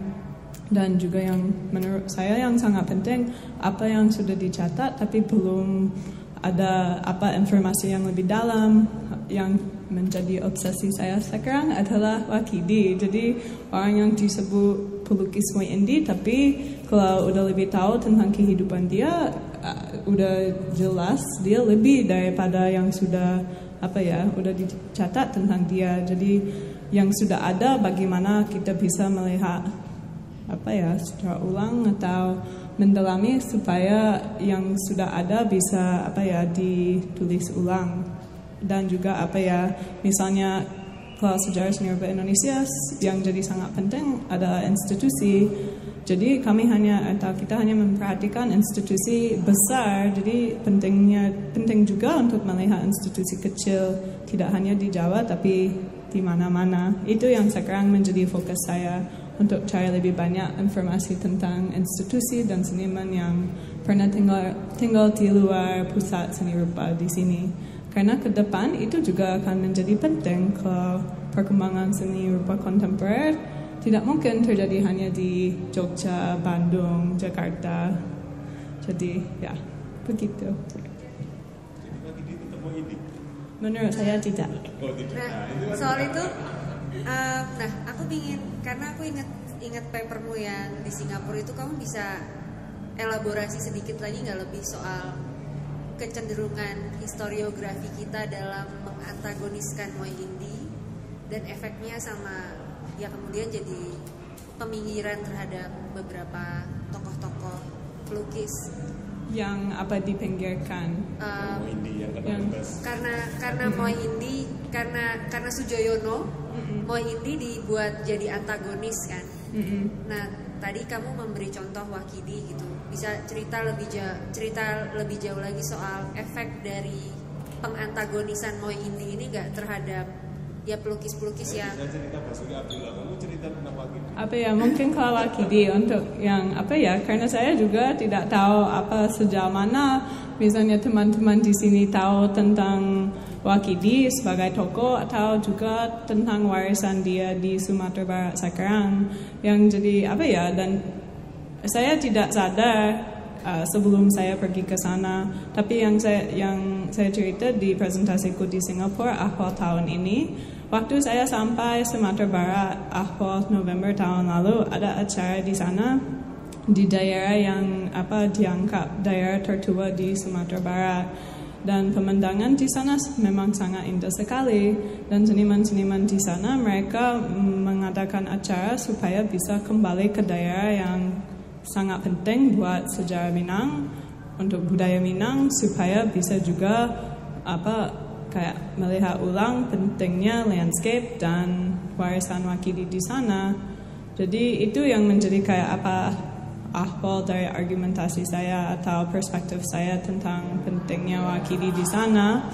Sampai juga apa ya saya ya just small story. Last week uh, minggu lalu saya ke Padang lagi. Dan sebelum itu saya belum banyak keliling di Bukit Tinggi tempat uh, di mana wakili apa ya mungkin dia paling lama tinggal di sana dia sekolah di sana. Apa abad 20 kalau tidak salah apa ya sembilan apa 1907 sorry my numbers 1907 dia masuk sekolah quick school di sana. Kemudian dia juga pernah menjadi murid tapi juga guru di institusi namanya INS Kayu Tanam yang buka tahun 26 jadi apa ya hampir sama dengan taman siswa di sini dan juga kurikulum dan pedagogi di sana mirip sama taman siswa di sini.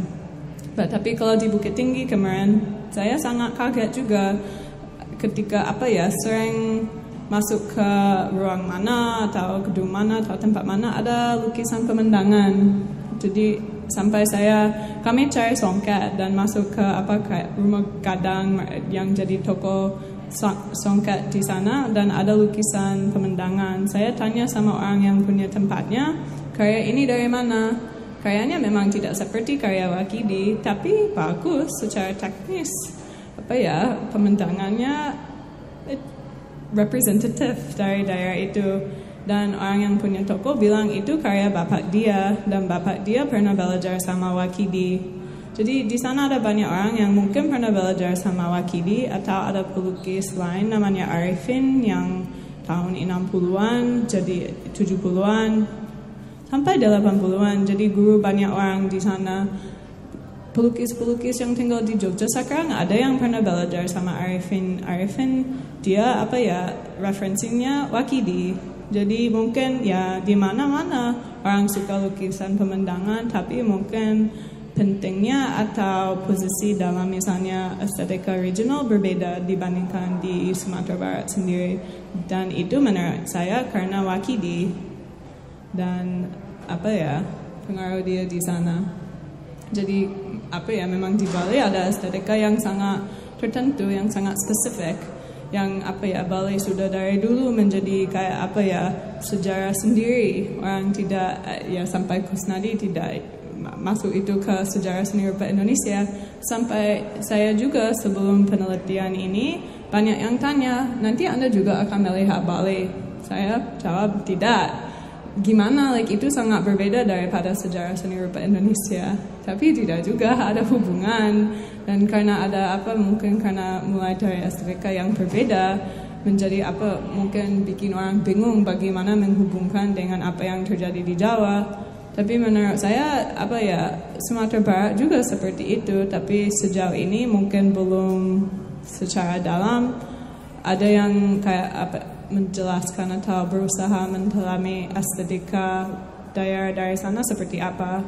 Jadi uh, saya sekarang saya agak ke sana dari lukisan pemandangan. So no more Moy Indie. Landscapes are okay.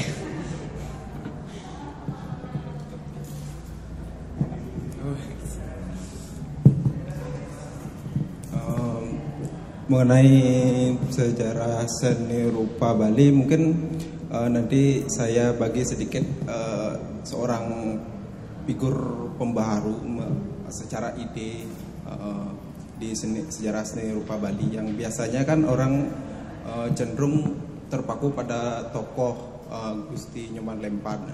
Uh, di sini ada namanya ide bagus Grebua.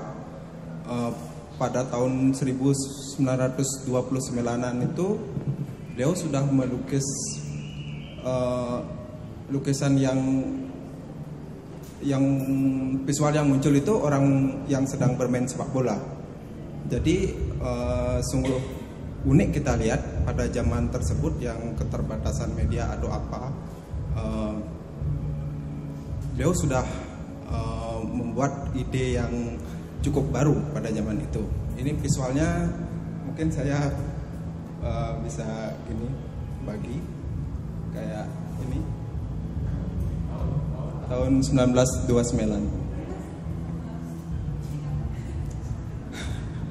ya, ini 1929. Waktu itu eh, kalau melihat dari perkembangan sepak bola Hindia Belanda pun eh, masuk Piala Dunia baru tahun 1938 kan. Dan juga dan juga Pitamaha sendiri baru terben, eh, terbentuk tahun 1936.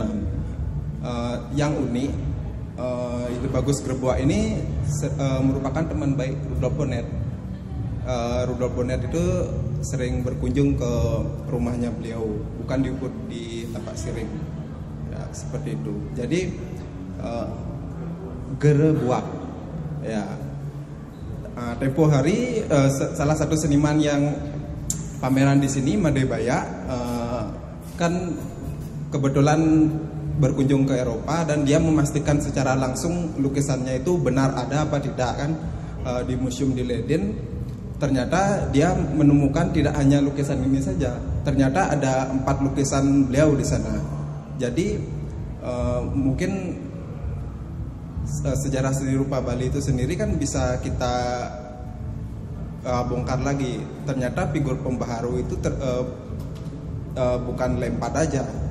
Ini ide bagus gerbuak juga bisa kita masukkan yang seolah-olah tertutup oleh uh, dominasi ubud. Uh, ini kan beda wilayahnya. Uh, padahal yang kita tahu kalau mengenai tema-tema seperti ini yang kekinian pada masa itu itu kan uh, dipelopori oleh Made Budi dan Wayan Bendi yang baru ada mungkin tahun 70 atau 80-an ini kan sangat jauh tahun 1929 media terbatas mungkin beliau sendiri uh, hanya sekedar mendengar saja kayak gitu. Mungkin itu yang bisa saya bagi mengenai sejarah seni Oh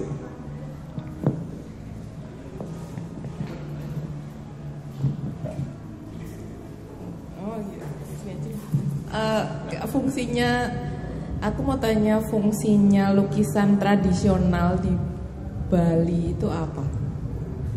Maksudnya kan kat- tadi kamu bilang ada sejarah seni rupa Bali yang tradisional. Bedanya apa sama yang enggak tradisional? Eh, lahirnya sejarah eh, s- lukisan di Bali itu kan eh, yang menurut yang saya baca eh, dari tulisannya Wayan Suryoga Parta sama Made Susanto Dwi Tananyo itu tuh kan eh, perkembangannya tahun sekitar tahun 1500-an itu yang terinspirasi dari wayang yang dibawa dari Majapahit itu Eh, habis itu di di kembangkan menjadi seni lukis gaya kamasan. Pada masa itu eh, lukisan kamasan itu ya di fungsinya sebagai penghias keraton itu yang sekarang sekarang mungkin kita bisa lihat sisa-sisanya di Kertagoso itu. Kertagoso itu.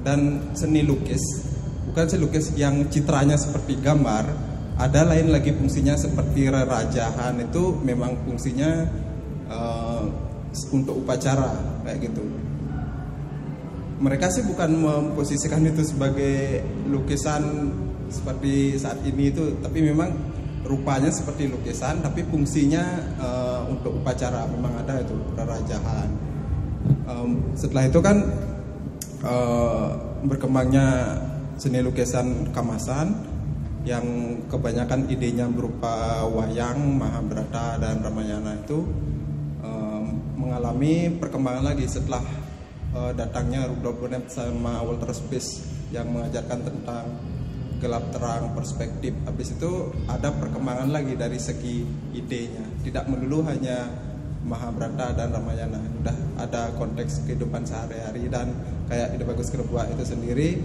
beliau melukiskan orang bermain sepak bola gitu.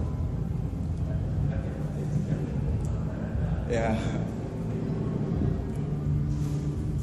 Cukup Aku nambahin dikit lagi.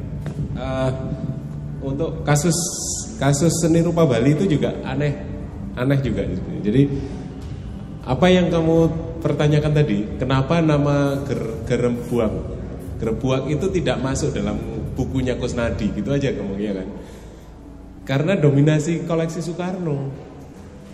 Tidak ada itu lukisan itu di buku koleksi Soekarno. Jadi saya yakin bahwa penulis-penulis itu menggunakan buku Soekarno sebagai bagian dari penelitian mereka gitu. Jadi tidak langsung ke lapangan apa yang terjadi arsip-arsip juga susah Google nggak ada gitu kan. Jadi Nah artinya ada persoalan kekuasaan kekuasaan ya itu tadi ingatan kuasa kuasa ingatan itu yang yang mendominasi para sejarawan sebelumnya. Nah eh, kamu udah pernah lihat buku koleksi Soekarno yang khusus patung, bukan yang jilid 5 tapi khusus kriya. Nah di situ ada juga sejumlah nama, eh, bukan nama, maaf. Jadi saya ceritakan dulu eh, buku ini. Buku ini adalah buku judulnya se- ukiran-ukiran Indonesia. Uki- judulnya itu beda dengan buku koleksi Soekarno lain yang judulnya lukisan dan patung koleksi Presiden Insinyur Soekarno. Nah yang ini cuma judulnya ukiran-ukiran Indonesia. Di dalamnya itu ada sejumlah kira-kira 30 karya yang dibuat oleh para pematung saya nyebutnya seni pematung sama pengukir. Jadi bedanya pematung adalah ada patung yang sifatnya tiga dimensional, ada relief yang sifatnya dua dimensional atau atau lebih kurang gitu. Nah di buku itu sayangnya tid- tidak ditulis siapa pematungnya dan pengukirnya. Jadi yang ada cuman judul itu pun judulnya yang bikin Dula. Bukan Soekarno, bukan pelukisnya, eh bukan pematungnya.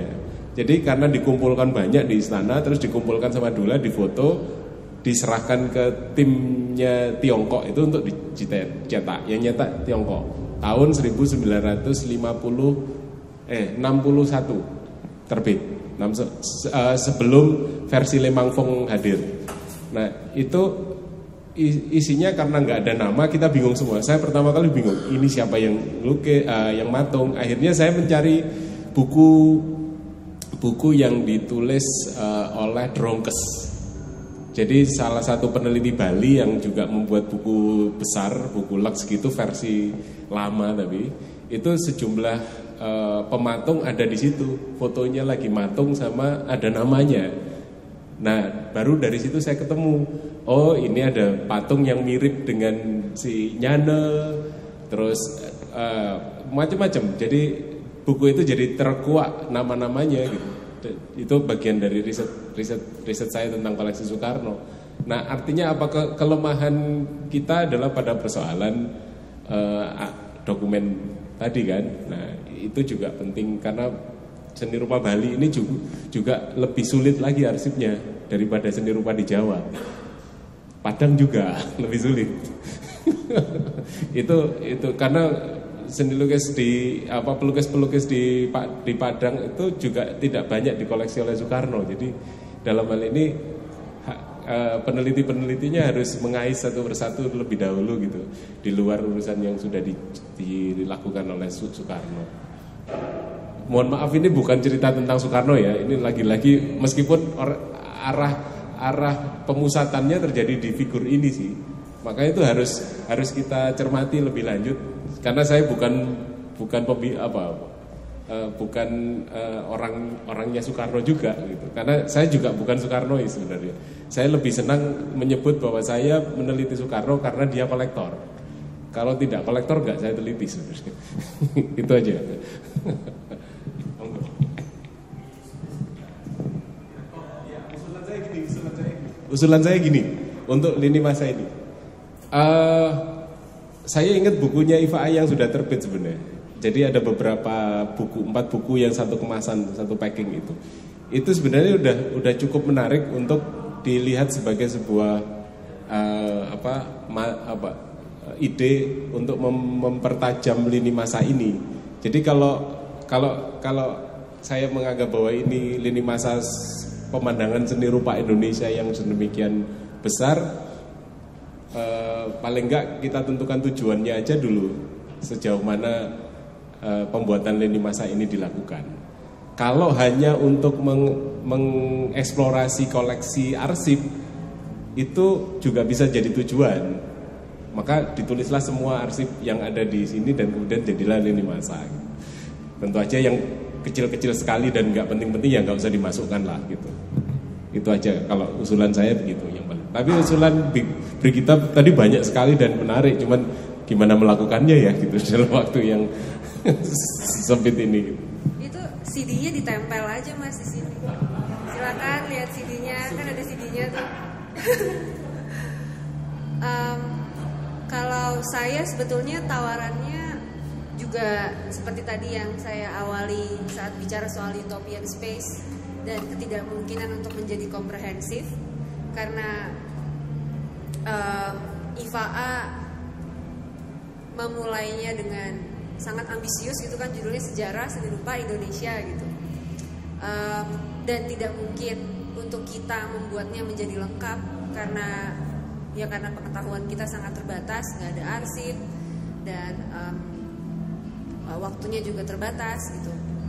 Um, kalau tawaran saya sebetulnya malah lebih untuk memperumit atau mempertanyakan entry-entry yang ada di dalamnya saja. Misalnya kenapa katakanlah kenapa eh, ketimbang menambahkan lebih banyak nama perempuan kita bisa menulis kenapa tidak ada kenapa hanya ada dua perempuan gitu. Jadi menambahkan problem-problem yang di, di dalamnya sekaligus misalnya menurut saya yang paling problematik di lini masa ini adalah bagian yang era pasca orde baru apalagi yang bagian terakhir euforianya itu um, itu kayak timeline Facebooknya Lisis menurut saya. Uh, tapi itu isinya cuma um, aktivisme yang berhubungan sama sini kota kan. Kalau kalau aku baca ya, artinya itu tiba-tiba tiba-tiba jadi spesifik gitu loh. Seolah-olah tidak ada kejadian-kejadian lain di pada tahun itu gitu. Jadi itu bisa bisa di bisa ditambahin bukan entry peristiwanya misalnya juga soal um, ketidaktahuan kita soal Bali gitu karena tentu saja kita tidak punya waktu untuk um, belum punya waktu untuk betul-betul membuka arsipnya apalagi pergi ke Leiden gitu bisa aja kita mempertanyakan itu kenapa kenapa kita terus menerus men, mengaderkan Bali gitu misalnya dan tadi um, Mas Mas Mas Mika memberikan masukan juga soal karikatur yang nggak ada, juga catatan soal yang menurutku penting banget bahwa ternyata sejarah seni rupanya Kusnadi sangat bergantung pada koleksi Soekarno. Terus um, catatannya Kathy soal mempertanyakan ulang soal terma moi indi yang kita tulis di lini masa gitu. Sehingga jadi antagonis kesannya. Itu hal-hal yang menurutku bisa sebenarnya mengusik mengusik si garis lurus ini aja supaya dia nggak lagi lurus supaya dia jadi berantakan. Membuatnya jadi lini masa kontemporer bukan lini masa seni kontemporer tapi lini masa yang kontemporer di mana semua waktu berada di uh, wadah yang sama gitu. nambah-nambah kita sambut Eni Supriyanto. Mas Eni ini pernah bikin lini masa seni dan politik Indonesia. Wah langsung pindah mau jadi pembicara Mas.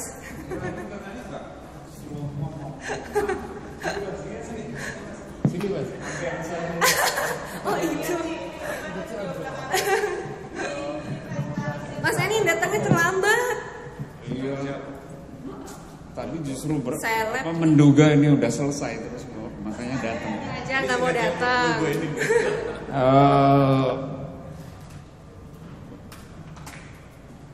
ke intinya sih saya setuju ya pada ya bu, sebenarnya bukan mengobrak-abrik ya. Kan ini persoalan uh, paradigma kita apa namanya tipikal kita melihat sejarah ya sehingga dia cenderung selalu menjadi linier begini.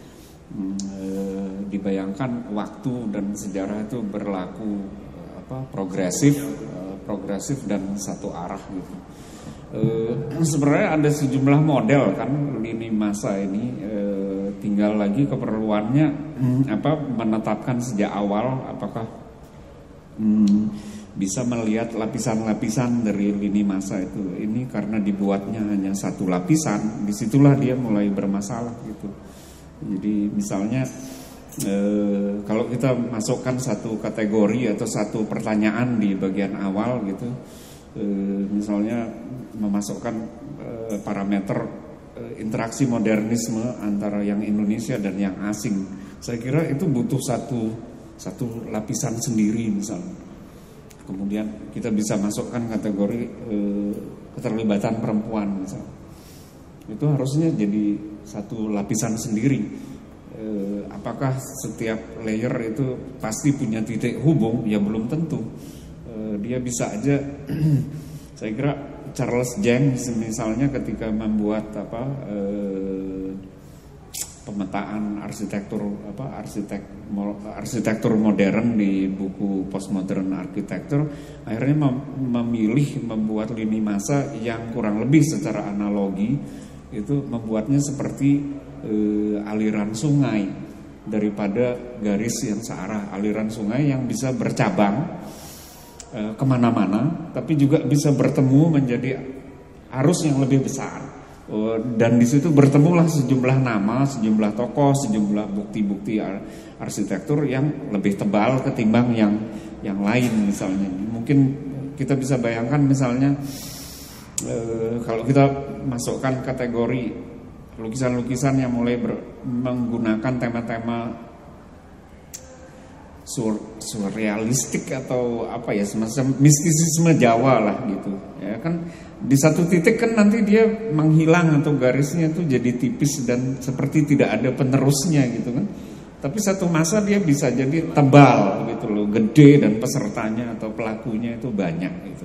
Nah, jadi selalu ada problem, eh, selalu akan ada masalah kalau membuat lini masa yang yang saya bayangkan seperti ini ya. Jadi satu lapis dibayangkan satu lapis, satu lapis dan progresif. Kedua ini yang saya ingat aja karena ngikutinnya sepotong-sepotong. Uh, yang kedua uh, historiografi tentang seni rupa modern Indonesia dalam kaitannya dengan seni rupa Bali tadi itu.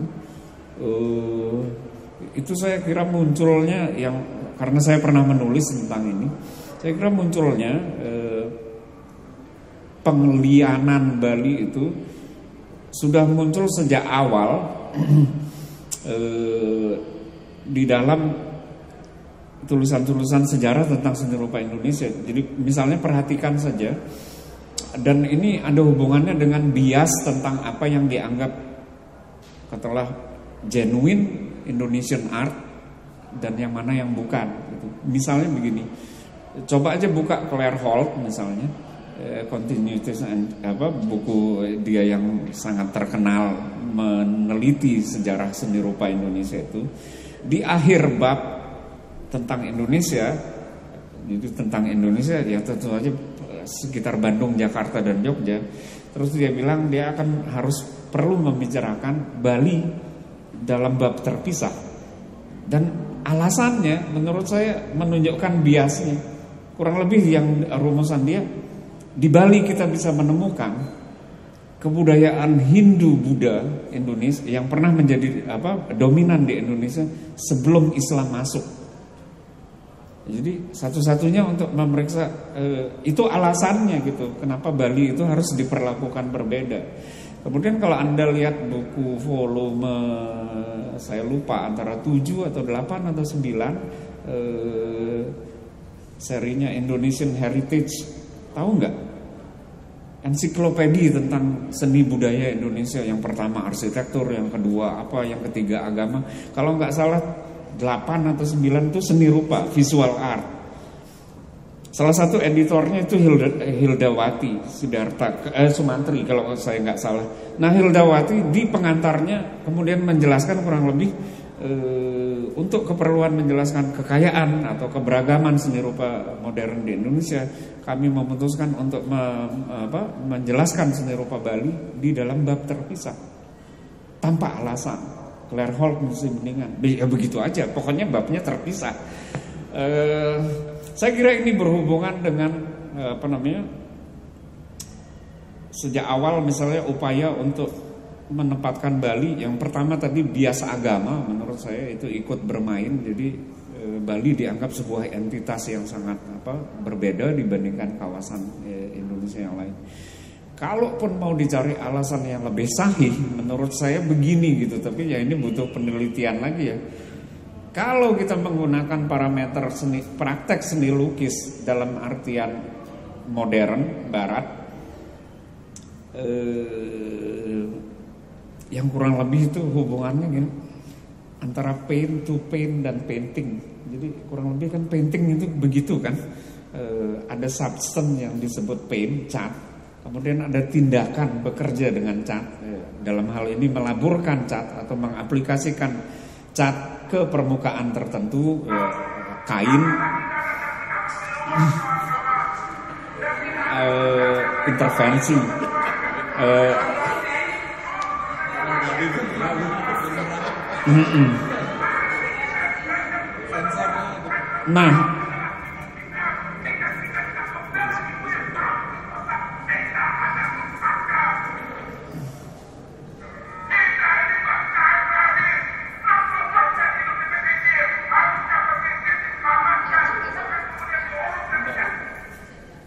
itu rekaman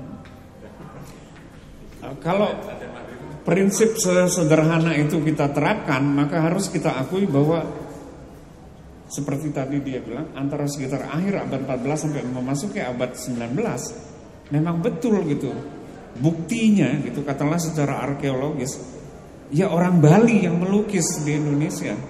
Artinya menggunakan bahan perwarna dari zaman apa di atas kulit kayu Kemudian mereka mulai mengenal kain karena hubungan dengan Cina dan India, ya kan? Sampai sekarang di dalam hasanah prosedur melukis Bali, istilah-istilahnya itu menunjukkan bahwa melukis sebagai sebuah tradisi yang sangat modern itu dikenal oleh Bali. Misalnya eh, seperti Sujoyono dan teman-temannya ingin belajar atau Raden Saleh gitu, eh, ingin belajar menjadi pelukis modern Orang Bali mengenal misalnya bagaimana membuat garis pinggir, belabar. Prosedurnya itu sangat ketat dan sampai hari ini ada sejumlah orang di Kamasa yang yang ngotot eh, itu prosedur itu harus dipenuhi. Misalnya katakanlah kanvas buat seniman modern itu harus dikasih apa? prime itu duluan. Di Bali sama. Kain itu harus dikasih dulu bubur kertas, eh, bubur bubur beras kemudian dilicinkan dengan punggung kerang. Serumit itu gitu. Itu namanya melukis kurang kurang canggih apa gitu dibandingkan dengan tradisi melukis modern yang kita sebut sekarang. Sebenarnya kalaupun mau memilah Bali di tempat khusus, saya kira itu alasannya. Tapi kalau alasannya Claire Hall, Hildawati Sumantri, bahkan termasuk Adrian Vickers di bukunya yang terakhir, itu bias eksotik Bali itu bukan cuma muncul ya itu satu-satunya alasan menyebut. Kenapa kok tiba-tiba tiba-tiba ada Balinese painting gitu loh. Seolah-olah nggak ada painting. Mem kalaupun itu mau dipegang saya kira alasannya memang dari segi sejarah dan bukti-bukti memang layak menyebutkan bahwa tradisi melukis sedekat yang kita kenal dalam pengertian lukisan modern memang sudah dilakukan di, di Bali misal warna merah itu seperti seperti pelukis modern gitu loh. Bisa ngotot bilang merah. Oh merahnya itu vermilion atau merahnya itu uh, uh, apa uh, crimson red. Di Bali itu ada. Jadi warna merah tertentu itu yang paling mahal yang paling berharga itu disebutnya gincu Cina misalnya. Itu biru itu ngotot gitu. Itu kan tradisi melukis modern gitu dan itu yang memang punya yang harus diakui Bali. Paling tidak dari segi sejarah ya. Kita belum punya bukti misalnya katakanlah walaupun kita melihat seni lukis di di gua-gua itu ada misalnya di di sejumlah bukti arkeologisnya di di di di apa Sumatera eh, apa di Sulawesi Selatan kita tidak pernah membaca atau mendapatkan informasi yang cukup bahwa teknik melukis semodern itu kemudian berkembang juga di sana. Jadi ada misalnya orang bilang ya melukis itu syaratnya adalah bahan pewarna yang diaplikasikan dan tidak punya fungsi ritual misalnya. Salah ya kalau orang di misalnya tadi dia menyebut misalnya masih bisa dilihat di Kertagosa itu saya kira bukan ritual, itu memang dekorasi ya. Jadi ya menghias. Jadi nggak ada bedanya dengan lukisan modern dibuat untuk kemudian dibilang bahwa tema-temanya itu selalu ritual, keagamaan dan hubungannya dengan Mahabharata pewayangan. Itu omong kosong. Ada banyak bukti-bukti di, di di koleksi di British Museum dan segala macam. Pelukis Bali sudah melukiskan kehidupan sehari-hari. Misalnya menggunakan apa yang disebut sebagai legenda rakyat yang, yang untuk meledek atau melakukan kritik terhadap kehidupan sehari-hari itu ada legenda atau cerita rakyat yang diulang-ulang digunakan dengan berbagai apa diaplikasikan dalam berbagai versi dari masa ke masa namanya tokohnya itu Pan Brayut. Pan Brayut itu tokoh unik lah anaknya 100 99 jadi buah dadanya itu tapi cerita tentang Palang Brayut ini akan digunakan oleh uh, seniman Bali untuk mengkritik kehidupan sehari-hari tanpa berhubungan. Jadi mengatakan lukisan Bali itu pasti ada hubungannya dengan pewayangan uh, dan ritual itu nggak benar juga gitu. Bukti-buktinya cukup untuk uh, apa membantah upaya eksotik itu. Yang kedua menurut saya berhubungan dengan masuknya tokoh-tokoh seperti Spis dan segala macam karena Spis ini merajalela ketika dia sudah nongkrong di Bali dan siap teman-teman bulenya datang itu pasti Spis jadi tempat bertanya dan juga tempat tinggal e, sampai saya kira Gregory Bateson dan Margaret Mead datang dengan bekal penelitian antropologi yang pernah mereka lakukan di apa New Zealand dan Kepulauan Pasifik. Mereka datang ke Bali dan tentu saja sumber pertama yang mereka dengar adalah Walter Spies. Tapi di dalam catatannya Margaret Mead dan Gregory Bateson misalnya mereka mulai tidak suka pada Spies karena Spies selalu mengarahkan mereka pada seni lukis kamasan dan ubud dan apa ubud. Eh, sementara dengan bekal penelitian sebelumnya tentang fisike masyarakat tradisional, Gregory Bateson dan Margaret Mead mencurigai dalam tanda petik ada semacam trauma di dalam apa kosmologi orang Bali eh, yang yang berisi banyak ketakutan tentang kekuatan alam dan kekuatan gaib yang disembunyikan di belakang dekor dan ritual yang begitu ramai dan meriah. Dengan katakanlah prekonsepsi seperti itu, Margaret Mead dan Gregory Bateson membuat foto bagaimana eh, pertama kali dilakukan penelitian foto itu perilaku anak-anak kecil dengan ibunya ya dari menggigit kuku, menyusui, berantem, menangis. Fotonya itu ribuan. Ya. Anda bisa Google Gregory Bateson dan Margaret Mead tentang Bali. Yang menarik untuk membuktikan tentang fisike yang traumatik yang penuh ketakutan di masyarakat baru. Margaret Mead lah yang memperkenalkan bahwa ada seni lukis lain untuk menunjukkan itu. Gara-gara dialah kita mengenal batuan, misalnya. Karena Walter Spies nggak mau nunjukin batuan. Batuan itu cuma hitam putih, isinya leak, ya kan leak makan bayi. Buat dia ini ini nggak benar gitu loh, memperkenalkan Bali dengan lukisan kayak gini ini nggak boleh sudah ada filter dan kemudian dikenal kita kemudian mengenal apalagi kemudian Kovario Bias datang membawa Bali sebagai di Island of Paradise ke New York. Dia bekerja sebagai ilustrator Vanity Fair waktu itu. Eh, jadilah makin menjadi jadi. Kemudian KLM mulai dibuka apa apa namanya KPM namanya ya. Kapal pesiarnya Belanda itu mulai membawa-bawa turis dan upaya purifikasi, apa, memurnikan identitas Bali ini. Kemudian di, kita tahu dipolitisir di di masa-masa spis datang 1930-an oleh pemerintah kolonial ya dengan politik Bali sering ya. Eh, Bali sharing namanya istilahnya. Jadi itu Bali itu mengalami kerumitan. Iya, jadi dia akan selalu terlihat seolah-olah terpisah gitu jauh tanpa alasan yang jelas sebenarnya. tanpa alasan yang jelas. Eh, apalagi ya tadi yang disinggung, yaitu Bali menurut saya itu punya problem seperti itu.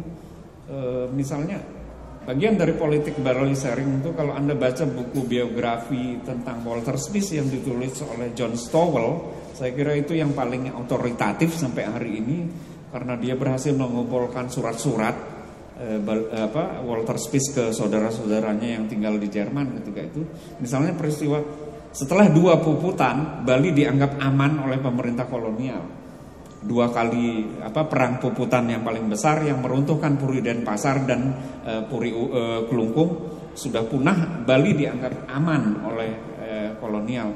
Baru pertama kali lah kemudian ada gubernur jenderal yang mau datang ke Bali. Nah, otoritas lokal termasuk termasuk kaum elit di Bali sendiri itu merasa tidak tahu bagaimana caranya menyambut gubernur jenderal orang penting ini. Mereka datangnya ke Walter Spitz. Mereka minta Walter Spitz merancang acara penyambutan. Bekerjalah Walter Spitz sebagai sutradara teater.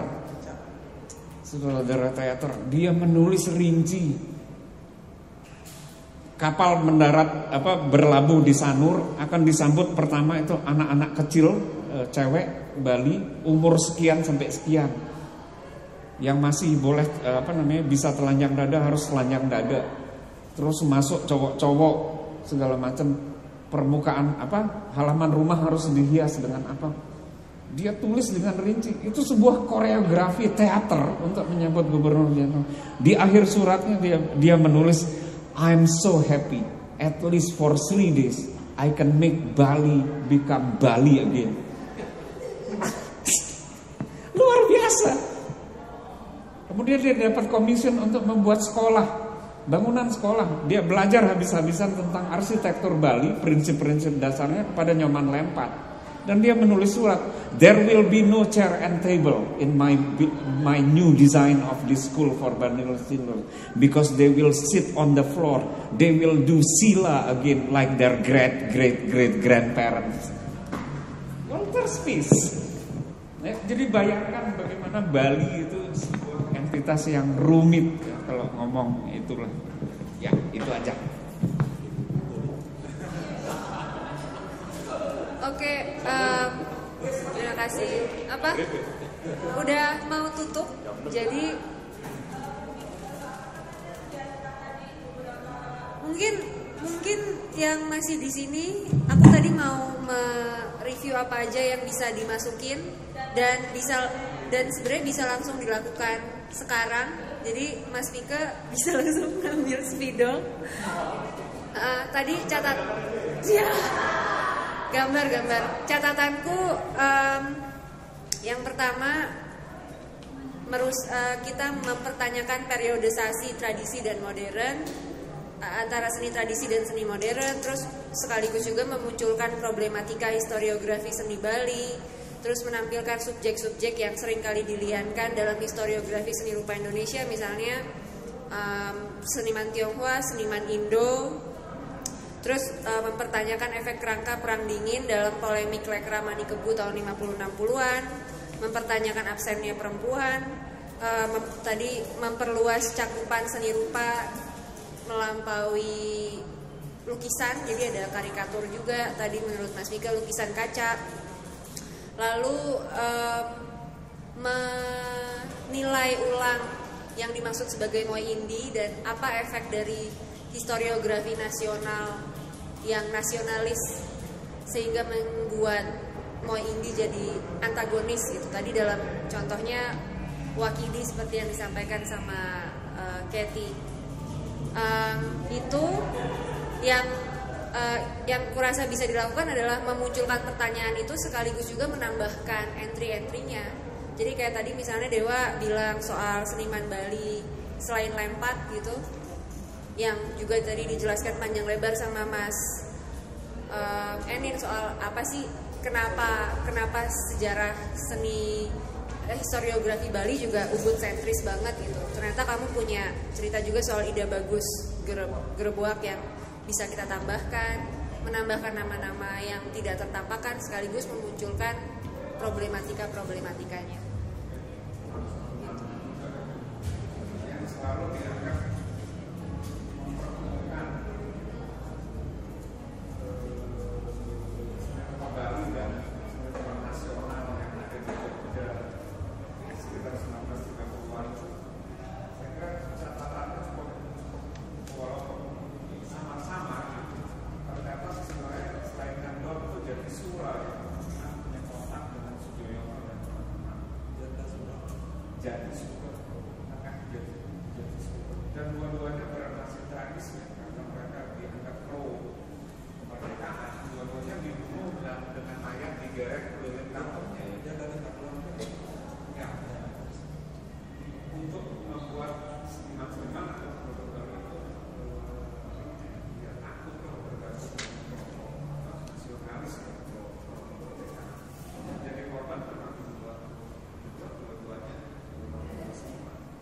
dan dari karya cukup terbukti ya misalnya Anda memutuskan ke sana juga lagi bergaul dengan orang-orang dari seniman-seniman kita yang yang ada di sekitar itu dan dia bergaul cukup dekat kalau nggak salah dengan lukis-lukis yang datang Eropa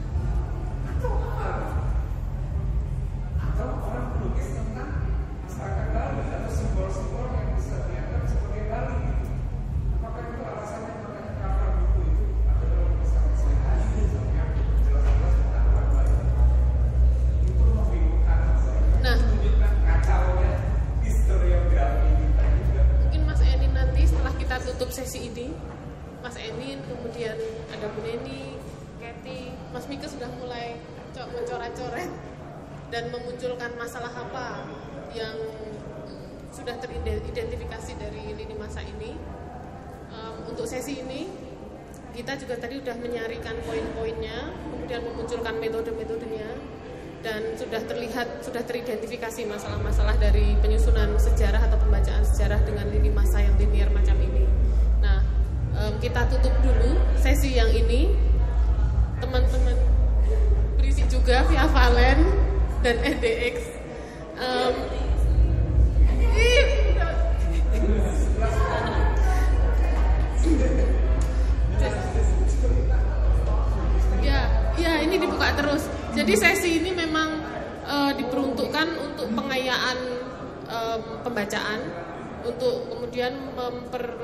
Kemungkinan-kemungkinan apa saja yang bisa kita lakukan untuk eh, memunculkan dan mengidentifikasi masalah itu. Sesi ini cuma jadi awalan. Selanjutnya teman-teman partisipan yang sudah kami undang juga, yang sudah juga berkumpul di sini, nanti setelah sesi ini selesai, eh, para penanggap bisa langsung nyoret-nyoret di lini masa dan teman-teman partisipan mungkin bisa briefing sebentar untuk menentukan metode kerja yang kemudian nanti kita sepakati bersama. Gitu ya, kita ya dan teman-teman semua. Terima kasih banyak Mas Enin yang langsung ditodong. Kathy Brun terima kasih. Mas Mika juga terima kasih. Bu Neni sudah datang terima kasih. Dan teman-teman para partisipan dan grupisnya kita juga terima kasih banyak. Sesi ini saya akhiri. Selamat malam.